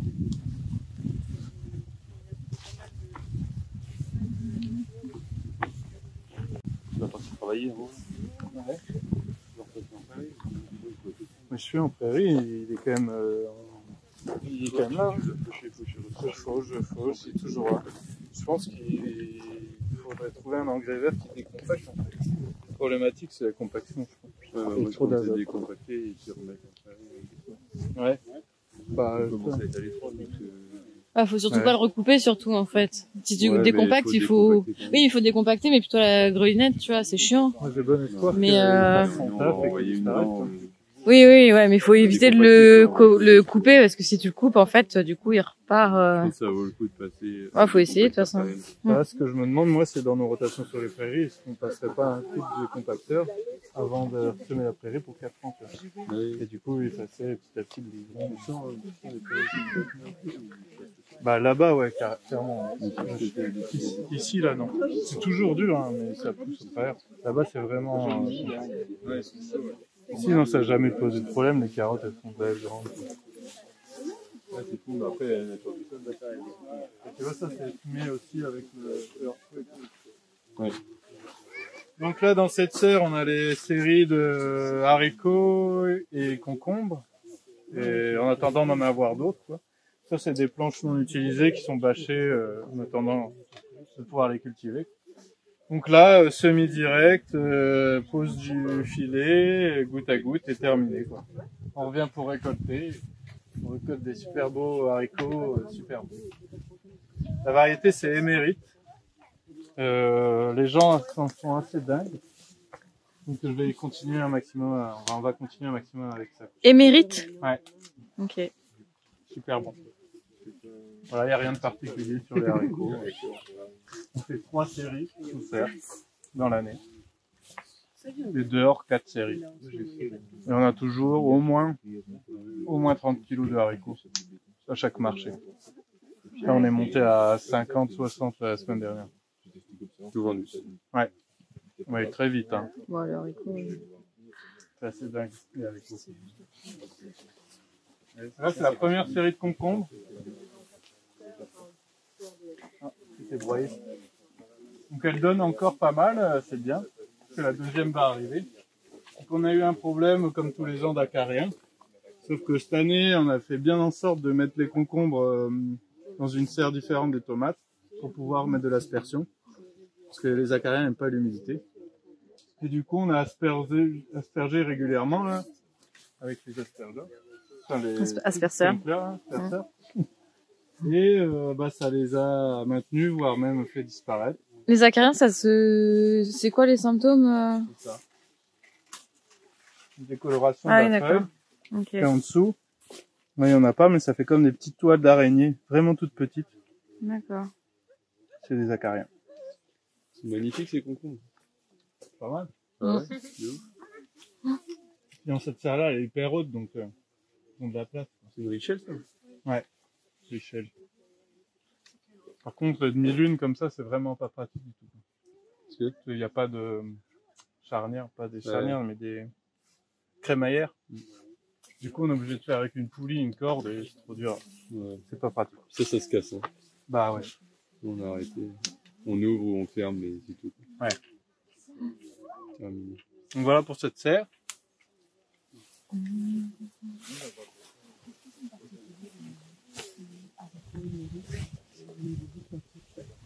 Bah, déjà, ils ont qu'un fil et puis ils sont hyper sucrés. Ah, ils sont sucrés, Mm. ok. Il faudra que tu goûtes. Bah, bien Ça, sûr. tu verras. C'est bon, il est peut-être plus pratique, je sais pas, peut-être de bah, c'est- plus foncé, euh, plus court. Après, il y en a plein, plein de variétés. y en a, ouais, ouais. Mais je pense pas que j'ai. j'ai- Ce qui est sûr, c'est que les haricots pas chers, c'est des haricots récoltés à la machine et du coup, l'infilé est forcément un peu moins bon. Ouais, ouais. Là, c'est deux séries de carottes. Euh, donc là encore, on voit les problèmes d'aspersion où les bouts, ils n'ont pas été arrosés comme le reste. Donc c'est en train de lever là, grâce au petit pluie là, qui euh, Là, il y a eu une petite problématique campagnole dans le coin. On voit là. C'est en train de lever. Il va y avoir une petite différence entre le milieu et, et le début. Comme ça. Parce que celui-là, il va falloir le sursemer. En tout cas, ça, c'est la dernière série qui a été semée euh, le 22 juin. Et juste à côté, du coup, c'est la série d'avant. Et c'est quoi comme euh, variété du coup? Mais ça, c'est de la yaya. Mais Ça, on fait la d'autres yaya. variétés. On fait aussi des conservations. Navales. Chez Agro, vous l'avez, Mariana Ouais. Euh, oui. Moi, chez Agro rien donné. Rien. Ah ouais La serre, j'ai fait 5 semis, rien. À quelle époque? Euh, J'ai fait depuis. euh, Peut-être la semence de l'année dernière aussi. On en avait beaucoup l'année dernière Ouais, en nous, trop. on en a Ah pas- ouais. Toi, si tu l'as acheté cette année? Ouais, je l'ai acheté cette année. hein, Mais euh, en Ouais, Mm. et ouais, en plus, en ça. Et t'as arrosé Ouais. beaucoup Ah euh, ouais, sous serre, dehors, euh, en plein champ, arrosé. Tu demandes aux euh, autres maraîchers, si c'est pareil chez eux, faut faire une réclamation. Ah, grosse dalle. C'est difficile à prouver après que ça vienne. Bah ouais, ouais. dans les passe-pieds aussi. Non, mais c'est pas grave. Euh, bah, j'ai- bah, j'ai- juste un peu. j'ai- Maintenant, J'avais on d'autres essaie de semences, se- mais. Nous, c'est bah, ce qui remplace la Napoli, paille, quoi, qui peut-être. font plus. ouais, bah ouais. Donc ça se passe plutôt bien. Bah, l'année dernière, on était super contents. Et là, cette année, euh, j'ai pas de carottes de saison. euh, Elles seront prêtes dans combien de temps à peu près on, en a, on en a là. dans les Ah, t'en as. Ah bah cool, je repars avec aujourd'hui, je les envoie en labo. Juste à côté, là, on récolte, il y en a pas. Je les envoie en labo alors. Direct. On va ça en labo. Ok. Donc voilà, euh, semé en mai, ça donne ça. Puis après, on a l'autre série qu'on est en train de ramasser, qu'on va vous montrer. Et on va en faire encore une. L'idée, c'est d'en avoir toute l'année. Donc on travaille sur les, les variétés euh, pour avoir euh, soit des cycles plus courts ou plus longs et aussi sur la conservation des carottes qui vont se vendre en botte rapidement euh, jeunes. Je suis expert de Euh, comme carottes. celle-ci par exemple. Et ensuite, celle qu'on sème maintenant, euh, ça va plutôt être de la conservation euh, qui se tient mieux, qui va, qui va pas pourrir, euh, qui va rester au champ, qu'on va garder tout l'hiver au champ. Les fans vont, vont mourir, mais la carotte, elle va être, elle va être belle. Et, euh, donc il faut toujours bien tester d'une année sur l'autre. On prend toujours des notes pour essayer d'optimiser no- notre choix variétal pour correspondre à, nos besoins. D'avoir toujours, toujours des, des légumes de qualité. C'est pas si facile parce que il y a plein de critères qui entrent en compte. Et en dernière euh, série, là, sur la conservation, vous faites quoi comme. Euh, bah, on a pas mal changé cette année. Ouais. Euh, on pourra regarder dans le cahier parce que c'est des nouvelles variétés. Guillaume nous avait conseillé, là, il y a de la colmar, je crois. Ouais. Il y a de la. Qu'est-ce qu'on va semer La rouge sang normalement. Il y a de la rouge. Ouais, on fait un peu de couleur cette année, c'est la nouveauté. Rouge et jaune.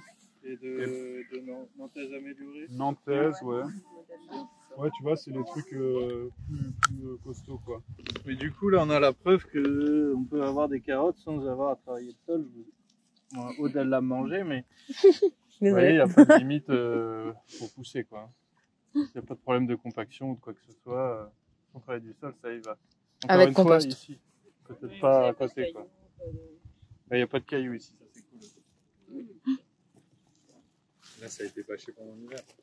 Euh, ici, c'était les choux l'an dernier Non Euh, C'était quoi l'année dernière? Non. euh, Bah, En bah, tout cas, systématiquement, c'est hein. bâché en fait en fin de. Quand on a fini de récolter, on essaie d'être assez réactif. Tu vois, les bâches sont là, elles sont prêtes. Hop, on y va progressivement. euh, Dès, dès que possible quoi. Après c'est c'est rarement la priorité dans nos, dans nos tâches donc euh, des fois on laisse un peu traîner, ça s'enherbe mais c'est pas très grave si ça s'enherbe parce qu'au contraire ça fait de la vie et ça fera de la matière à porter en plus. Par contre on évite que ça monte à graines quoi. Donc euh, on va venir soit bourrailler, soit bâcher directement si c'est pas très haut. Et on les enroule sur le côté, donc ça permet de les dérouler facilement. Et on essaie d'en acheter euh, régulièrement pour en avoir un peu sur chaque jardin. Une bâche, ça fait un jardin.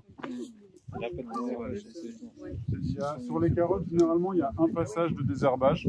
Euh, et euh, ça prend pas longtemps puisque c'est assez éparse, tu vois. Euh, je sais pas, je dirais 20 minutes peut-être. euh, c'est par série, quoi. Pour les photos. Carottes d'hiver, quoi. Ouais, ouais. En vrac. Là, on a un Smith pané. On est un peu en retard parce qu'on a raté le premier. Du coup, on a tout redésherbé, on a tout ressemé. Et après, il y a eu les pluies qu'il y a eu ces derniers jours. Du coup, c'est parfait. Là, pour l'instant, tout va bien. Ouais, c'était la période où il n'y avait pas du tout de pluie et euh, donc ça n'a pas aidé euh, à la germination. Et en plus de ça, on avait plus ou moins raté le semis. Les graines, on les a mal euh, conservées. Mhm. C'était des graines pré-germées qu'il fallait garder au frais, etc. Donc euh, voilà, ça fait partie des erreurs et qu'on a essayé de rattraper. On va voir si ça, si ça passe. Parce que dans le calendrier, c'était un peu tard pour semer, mais bon. Ça dépendra de la, de la saison, de la météo. Là, vous avez l'exemple euh, dont je vous parlais tout à l'heure d'un semis de haricots euh, semis direct avec une économie de compost assez, euh, assez importante puisqu'on on s'est contenté d'écarter la paille, de semer les haricots et de mettre un petit peu de compost par-dessus les graines, c'est tout. Et la paille ensuite, elle est revenue. Donc là, il manque juste le filet qu'on va mettre pour qu'il puisse euh, s'accrocher, puis ça va faire euh, comme vous voyez à côté là-bas. La deuxième série de concombres, donc vous avez pareil les deux étapes. Vous voyez la, la première là-bas et la deuxième qui va prendre le relais. Et tout le reste, c'est poivron aubergine. Donc euh, on a une planche ici qui est réservée cette année aux plants greffés, donc qui sont censés être plus précoces et en même temps donner davantage. Donc euh, on, c'est un test, on va essayer de voir si on, si on valide ou pas. Et le reste, c'est nos plants à nous, qui sont, qui sont très beaux, qui les ont même dépassés là. Euh, voilà, avec une technique de palissage euh, assez simple, euh, qui peut être encore améliorée, mais, euh, mais ça se passe plutôt bien comme ça. Et on a des super rendements euh, en aubergine. Poivron, il faut être plus patient. Qui bat toujours les bords de serre euh, fleuris. Voilà, il n'y a pas grand chose, pas grand chose d'autre à dire. Là, vous pouvez sentir euh, le fumier de poule, qui est Ouais. juste là, qui nous, qui nous accompagne en ce moment. dès qu'il pleut. Euh, ici, c'est pareil, on a bien fait en sorte de regrouper euh, des cultures qui peuvent être euh, aspergées. Parce que les autres années, les au- aubergines euh, poivrons, c'était en général avec les tomates, donc que du goutte à goutte, et donc euh, problématique d'acarien en général. Là, même le- les concombres, ils aiment bien ça, du coup, on asperge tout le monde régulièrement, et, et c'est hyper sain. Il y a encore des zones où les coccinelles finissent d'achever les pucerons, là, mais mais sinon tout va bien. Là, on voit bien que la capucine elle a été détruite par, à mon avis, des pucerons. Mais il n'y en a pas un seul sur la culture de haricots qui est juste à côté. Donc ça, c'est quand même pas mal. Vous voyez, on monte quand même à 45 degrés la journée et 8 la nuit. C'est des sacrées différences. Température.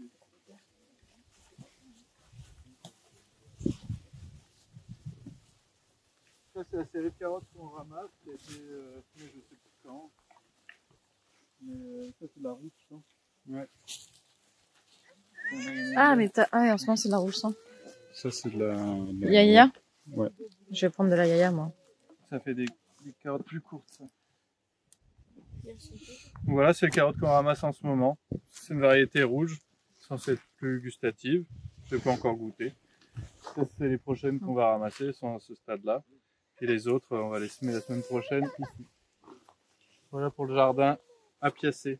Voilà ce que ça donne après la récolte. Il reste plus que les planches euh, comme ça. Il n'y a pas de- d'enherbement. Donc là, on va, on va bâcher rapidement histoire de préparer la suite. Ou bien ressemer si on veut quelque chose directement. On va voir. Et là, c'était les, les pommes de terre. Donc, euh, t'as expliqué les pommes de terre ou pas Non, on va expliquer, on va le voir à côté. Donc, nous, on fait les pommes de terre, c'est un peu particulier. C'est, euh, on les, on les pose simplement au sol et on paille euh, généreusement dessus. On met euh, 40, euh, 50 cm de paille. On fait pas du tout de, de, de butage comme euh, la plupart des gens font. Donc, nous, le gros du travail, c'est d'apporter euh, beaucoup de paille. Donc ça, c'est la corvée. Mais une fois que c'est fait, bah, il n'y a plus rien à faire. La, pomme de terre, elle va traverser le paillage et puis euh, elle va se développer en surface. Mais euh, ça lui permet d'être. tous les tubercules sont recouverts, sont à l'abri de la lumière, donc ils vont pas verdir. Donc pour nous, ça va faciliter la récolte parce qu'on n'a pas à creuser. Et toujours dans l'optique de ne pas travailler le sol, ça nous permet de pas utiliser de, récolteuse aussi qui va venir soulever, plonger dans le sol et soulever les pommes de terre. Donc nous, la récolte se fait à la main, c'est un peu contraignant, mais on n'a pas à creuser, donc ça va. Juste enlever la paille et puis ramasser par terre. Après, du coup, là, ce qui est bien, euh, le gros avantage de cette culture, c'est l'après, après patate, quoi. Parce que euh, on n'a pas des rendements euh, folichons, quoi. Mais par contre, après, le terrain, pour les deux, trois prochaines années à venir, ben, vous voyez le sol, là, ben, il est parfait, quoi. Donc là, on va séparer la paille et semer de la... des patates. Il y a des compagnons, ça encore. Et on va ressemer de la carotte. Mais on va voir, il y a des cultures en cours là-bas de patates. Alors, c'est pour ça qu'on s'accroche à cette pratique qui est assez contraignante et qui n'a pas des rendements de dingue. C'est que on essaie de penser à la ferme euh, de manière globale et de se dire que la session euh, pommes de terre, elle est utile pas que pour la culture de pommes de terre, mais pour la suite, avec un sol qui est euh, avec une quantité impressionnante de paille qui s'est dégradée à son rythme et qui, qui derrière euh, nous permet d'avoir un sol meuble euh, d'une super structure et, C'est et- ça parce que la patate elle est pas spécialement puissante. Hein, ah pas, non, mais puis elle reste en surface, donc elle va C'est pas que creuser. la paille et l'activité de la Ouais. bacté- enfin, Ouais. Des champignons et des bactéries, ouais. Ça, il y en a plein qui se disent MSV et qui passent quand même des outils sur les premiers centimètres du sol. Mais pour moi, ça n'a pas de sens c'est les premiers centimètres qui sont les plus importants. C'est là où il y a tous les champignons et bactéries qui viennent dégrader la matière qu'on leur donne. Et après, il y a les vers et ainsi de suite qui viennent en- mettre ça dans le sol, dans leur galerie. Et ça fait la fertilité du sol. voilà pour cette partie. Ouais, il y en a quelques-unes là-bas. Il y en a qui veulent des veux glaner?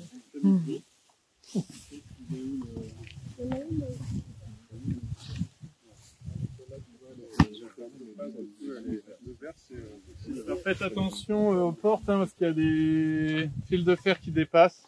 Mettez- faut pas se mettre dans le crâne. C'est un peu. Donc là on a les melons.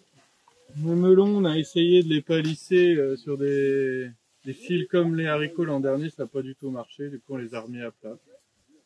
Et euh, bah, on voyait des bébés melons. On est un petit peu en retard.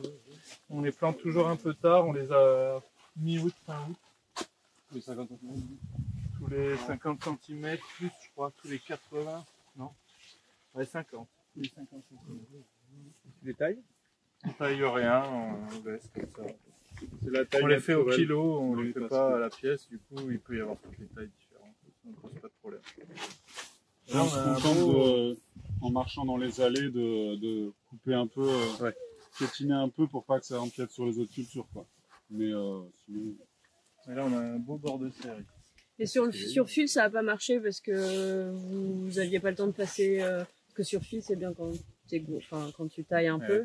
Sinon, ça, il y en a une quantité astronomique à faire. euh, à faire. On l'a pas fait, c'était peut-être l'année qui n'allait hein. pas. Ouais. Plans Après, euh, pas moi, je, on avait essayé euh, il y a quelques années chez ma maître de stage en BP et en fait, le melon, quand il est mûr, il tombe, il se Mm. décroche. Mais Ah si ouais. tu passes pas assez régulièrement, il- mais au jardin de la Valette, dans le sud, ils l'ont fait là cette année. Mais peut-être qu'il passe vraiment euh, drastiquement tous les deux ouais. jours euh, pour les décrocher, quoi. C'est possible. carré là-bas. Ouais. Alors, ils essayent, comme pas. Mais nous, euh, faut toujours que ça soit euh, le plus le, le plus pratique et le moins chronophage possible. On n'est pas forcément dans ce qui est le plus euh, joli ou je sais pas le mieux pour. euh, Après, ça plante. prend une place de fou, quoi. C'est un peu le problème du melon, ouais. Mm, ouais. Nous, on Bah ouais. essaye dehors Ouais, aussi sous le tunnel nantais, mais avec Ouais, les on- vents, euh, On voulait les on a mettre sur palette, ça, on a oublié de le faire. Là, la problématique qu'on a, c'est que les cloportes, ils viennent les manger. Quoi. Ah ouais. Quand ça Et- touche le sol, euh, Ouais. c'est compliqué. Même avec la bâche, ils Ouais. ils viennent quand même. Ils viennent sur la bâche et quand ça les bouffer, après toutes les guêpes arrivent. Filme. Faut y aller régulièrement. Mais tu crois que Et- la palette, ça, ça suffirait juste parce que ça peut grimper Bah, sur la palette, non Les cloportes Oui. Bah non, tu sais, ils sont dans les trucs tout humides, euh, noirs, tout ça. Sur la palette, ils iraient pas, je pense. Ok. Ah, déjà, le C'est fait le que ça méthode. soit pas sur paille, parce que l'année dernière, on avait mis euh, de la paille, là. Ouais. Déjà, La bâche, peut-être ça va les déranger un peu plus. Mais bon, on verra. On Ah, n'est pas les champions du melon. Non. Mais ils sont bons quand même. pas encore. Pas encore. Voilà. on a fait beaucoup de F1. hein. Ah bah y a suivant, je crois. Il y a eu un peu de précoce du rock. C'est euh, ouais, c'est du charentais, là, il y a deux variétés de charentais. Euh, Pourquoi il Tonga, si peu- est et... euh, La variété La graine Bah ouais, je sais pas. C'est le F1 le moins cher euh, du monde. Du coup, on peut de la population. En ensilage. Et il y a trois jardins de courges.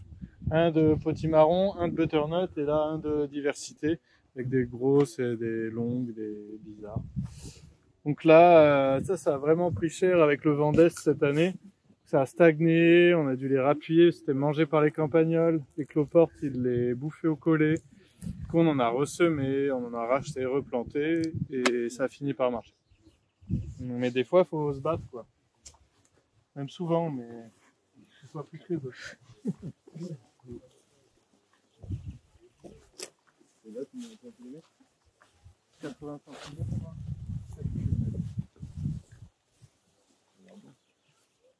Ouais, là, c'est les grosses courges alors.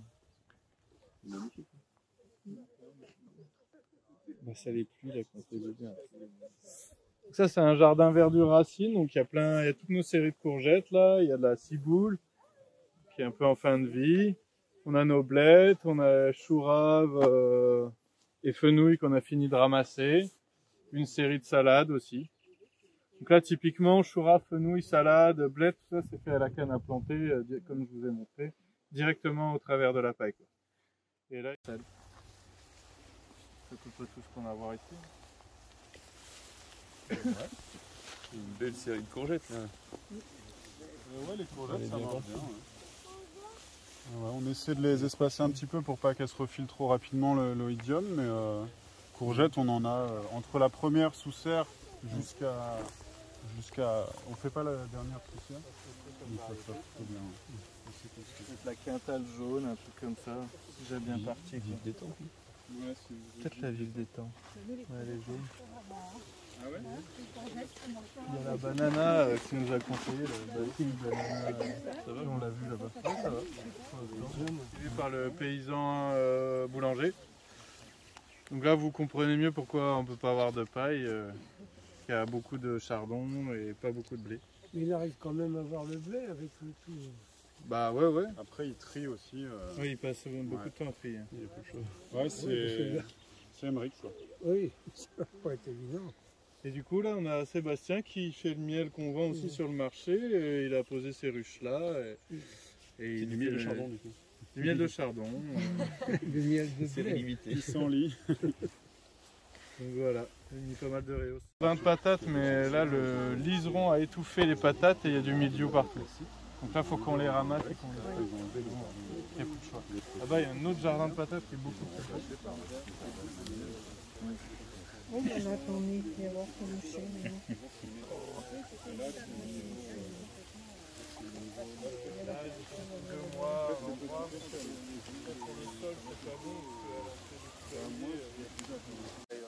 Regarde, c'est du jus là-bas.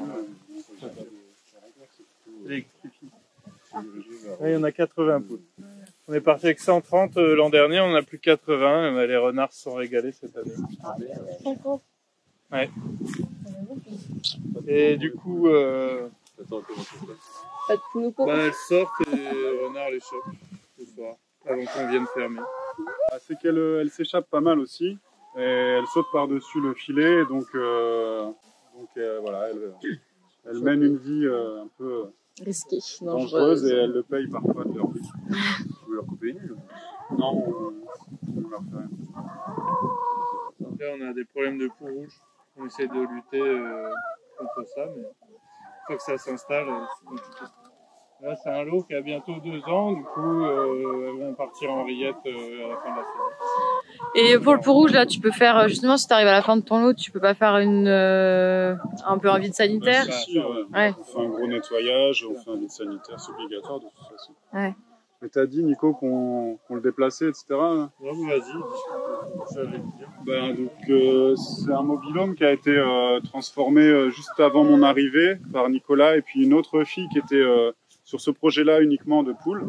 Euh, donc, ils ont transformé ce mobilhome en poulailler avec une partie euh, un peu conditionnement qui est de l'autre côté et la- les deux tiers du mobilhome c'est pour les poules avec le perchoir, pondoir, mangeoire, etc. Et donc, ça nous permet de le déplacer sur la ferme. Euh, c'est pas facile à bouger, mais ça se fait. C'est pas du tout fait pour, mais bon, on s'en sort pas trop mal.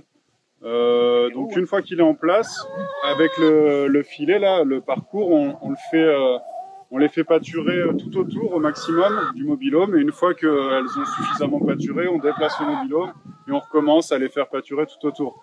Au début du projet poule, euh, elles allaient sur les jardins de légumes et euh, après les légumes bien sûr. Et en fait, on s'est rendu compte que c'était c'était beaucoup trop violent en termes de, de tassement du sol, de travail du sol, parce qu'elle gratte beaucoup, de fertilisation avec leur déjection. Surfertilisation. Surfertilisation. Donc on a arrêté de faire ça, parce qu'après, bah, il apparaissait de nouveaux problèmes. Donc euh, on a arrêté de faire ça, on les met uniquement euh, dans les allées et sur les vergers. Et là, ça se passe très bien. Le chien qui l'a arrêté. C'est son boulot, hein. Donc voilà, les œufs, c'est génial. hein, euh, C'est pas beaucoup de, de travail et c'est euh, c'est super bon et les gens en raffolent. Donc euh, on, on va développer un petit peu cet atelier-là. On va faire un deuxième euh, parce que nous, on a toujours un moment où on se sépare des poules. Donc là, dans quelques mois, on va avoir euh, 3-4 mois sans œufs. Donc c'est un peu embêtant. Vu qu'on vend tout en direct, les gens s'attendent à avoir euh, toujours euh, de la marchandise en continu. voilà. Et donc on va faire un deuxième petit lot euh, en complément euh, qui va être en décalé en fait de celui-ci pour euh, avoir une, une forme quand même de continuité et, et avoir un complément quand on en a le plus besoin. Et là, le poulailler mobile, tu vas le faire comment pour le deuxième, du coup Ce sera dans la caravane qui est là-bas. Ah, c'est la thématique, caravane. Récup à fond. Ouais, ouais, c'est tout est. Bah, en fait, comme on disait au début, où là j'en parlais, c'est ce qui fait le succès de la ferme, c'est le, le très faible niveau de charge qui nous permet de, de, de- bah, d'a- d'absorber tous les, bénéfices pour nous. En gros, euh, on investit très peu et on a très peu de charges. Donc, euh, donc dès qu'on peut bricoler des trucs euh, pas chers, faire de la récup, on le fait. La chambre chaude, c'est auto-construit. Les, les poulaillers aussi. Les serres, c'était de l'occasion. Euh, voilà, il n'y a rien qui coûte cher en fait ici, et ce qui permet tout de suite euh, de, de, bah, de se payer en fait, de pas passer des années, 10 ans à rembourser des équipements euh, coûteux. Donc ça peut être un peu embêtant, là on s'embête à le déplacer, mais euh, quand on voit ce que ça nous rapporte, c'est je sais pas un quart de notre l'atelier poule, c'est euh, presque un quart de- du chiffre d'affaires, alors que ça nous ça nous prend euh, très peu de temps. quoi. On va faire un neuvième. Ah bah là là ça a fortement baissé. ouais. Là, on a un bon exemple de patate, c'est plutôt belle et saine. C'est une variété qui résiste mieux au milieu que celle qu'on a vue là-bas. Là. Donc euh, on, on plante avec la planteuse, euh, on paille avec la pailleuse et maintenant on va récolter euh, dans un mois ou deux avec les bras. Donc voilà, ça fait ce genre de choses là. Est-ce qu'il y a des patates? Voilà, ça commence. Voilà. C'est comme ça que ça se passe. Donc celle-ci c'est de la euh, désirée. Donc euh, on va attendre encore euh, un mois ou deux avant de la ramasser. En surface. En fait, on a une planteuse à pommes de terre qui est un outil très classique qu'on a d'ailleurs acheté à Guillaume.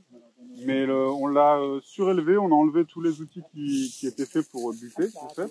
On a surélevé les, les, les plantoirs et ça nous permet juste d'avoir euh, bah, déjà d'être assis d'avoir les plants de patates à disposition et de, de, de les déposer droit quoi. Donc nous avant on tirait des cordeaux, on se trimballait les cagettes, on les posait avec un décamètre tous les 25 cm. Là maintenant on est tracté, on est deux et on prend les patates et on les dépose comme ça quoi. Donc c'est un gain de temps énorme et euh, encore une fois c'est un détournement d'outils. C'est vu que nous nos pratiques elles sont pas encore trop euh, euh, elles n'ont pas investi le, vraiment le champ de l'innovation, à part quelques groupes qui s'y intéressent, et c'est de mieux en mieux. Mais euh, il suffit des fois de bricoler un peu des, des vieux outils et ça se passe très bien. Voilà. Ça, ça nous a fait gagner du temps. hein. La planteuse, c'est tout simple, mais. Ouais, ouais, ouais c'est. c'est- en base. Bah, au début, on l'avait exclu parce qu'on voulait pas buter, mais en fait, il suffit de bricoler un peu et puis ça se passe très bien. hein. Là, c'est une deuxième série de choux, exactement la même chose que là-bas, mais vous pouvez voir un autre stade, donc euh, planté euh, sur bâche tissée, voilé directement, euh, puisque euh, sinon ils se font ravager par euh, notamment les pierrides qui pondent euh, sous les feuilles et ensuite les chenilles dévorent les feuilles. Donc là, une fois que la plantation est faite, euh, il n'y a plus rien à faire, on va récolter, euh, peut-être arroser un peu si ça manque d'eau, mais euh, généralement, il n'y a, même pas besoin d'arroser. Avec la pluie, Avec le beau temps là. Voilà. Nous, on a compacté le sol, c'est tassé, c'est surfertilisé. En fait, là, ce qui explique ça, c'est c'est la, la sortie, euh, vraiment la, la partie de gauche, là. C'est la sortie des poules, donc euh, c'est- l'endroit où, elle, même si on bouge le parcours tout autour, cet endroit-là, il reste toujours au même endroit tant qu'on n'a pas bougé le mobilhome. Donc euh, voilà, on préfère que ce soit dans les allées plutôt que sur des, des, des légumes. Ça, c'est les petits marrons. espacés qui vont être qui vont se débrouiller tout seuls. On va normalement il n'y a pas trop trop d'intervention à faire une fois qu'ils auront la bonne forme et, euh, ils donneront plus tard, dans 2, 3, 4 ans. Voilà, des pommiers, des poiriers. encore une fois. Et il n'y a pas de butage à faire puisque les trous sont assez profonds. C'est ça qui fait le blanc, qui fait le flux du poireau. Et après, on peut rajouter de la paille si on veut. Donc là, il y en a, euh, je crois qu'il y en a 1000 par plante à peu près. On a un autre jardin comme ça dans une autre parcelle. Et là, euh, pour la problématique liseron, t'arraches au fur et à mesure Voilà, ou... on a fait un désherbage, mais euh, c'est cata quoi. Je sais pas trop. Il faut qu'on trouve une solution. Et Ça un... pas gêner le poireau plus que ça. Hein. C'est Non, non, non. Plus moi qu'autre chose. Ouais. Après, faudrait pas que ça l'empêche de voir la lumière. Quoi. Et un bâchage très long. euh, Ça pourrait être ça, mais avec une Mais ça bâche reste- vraiment pas percée, Ouais. nickel. Là, on a bâché que deux mois, donc forcément, lui, il a repris directement le dessus. Déjà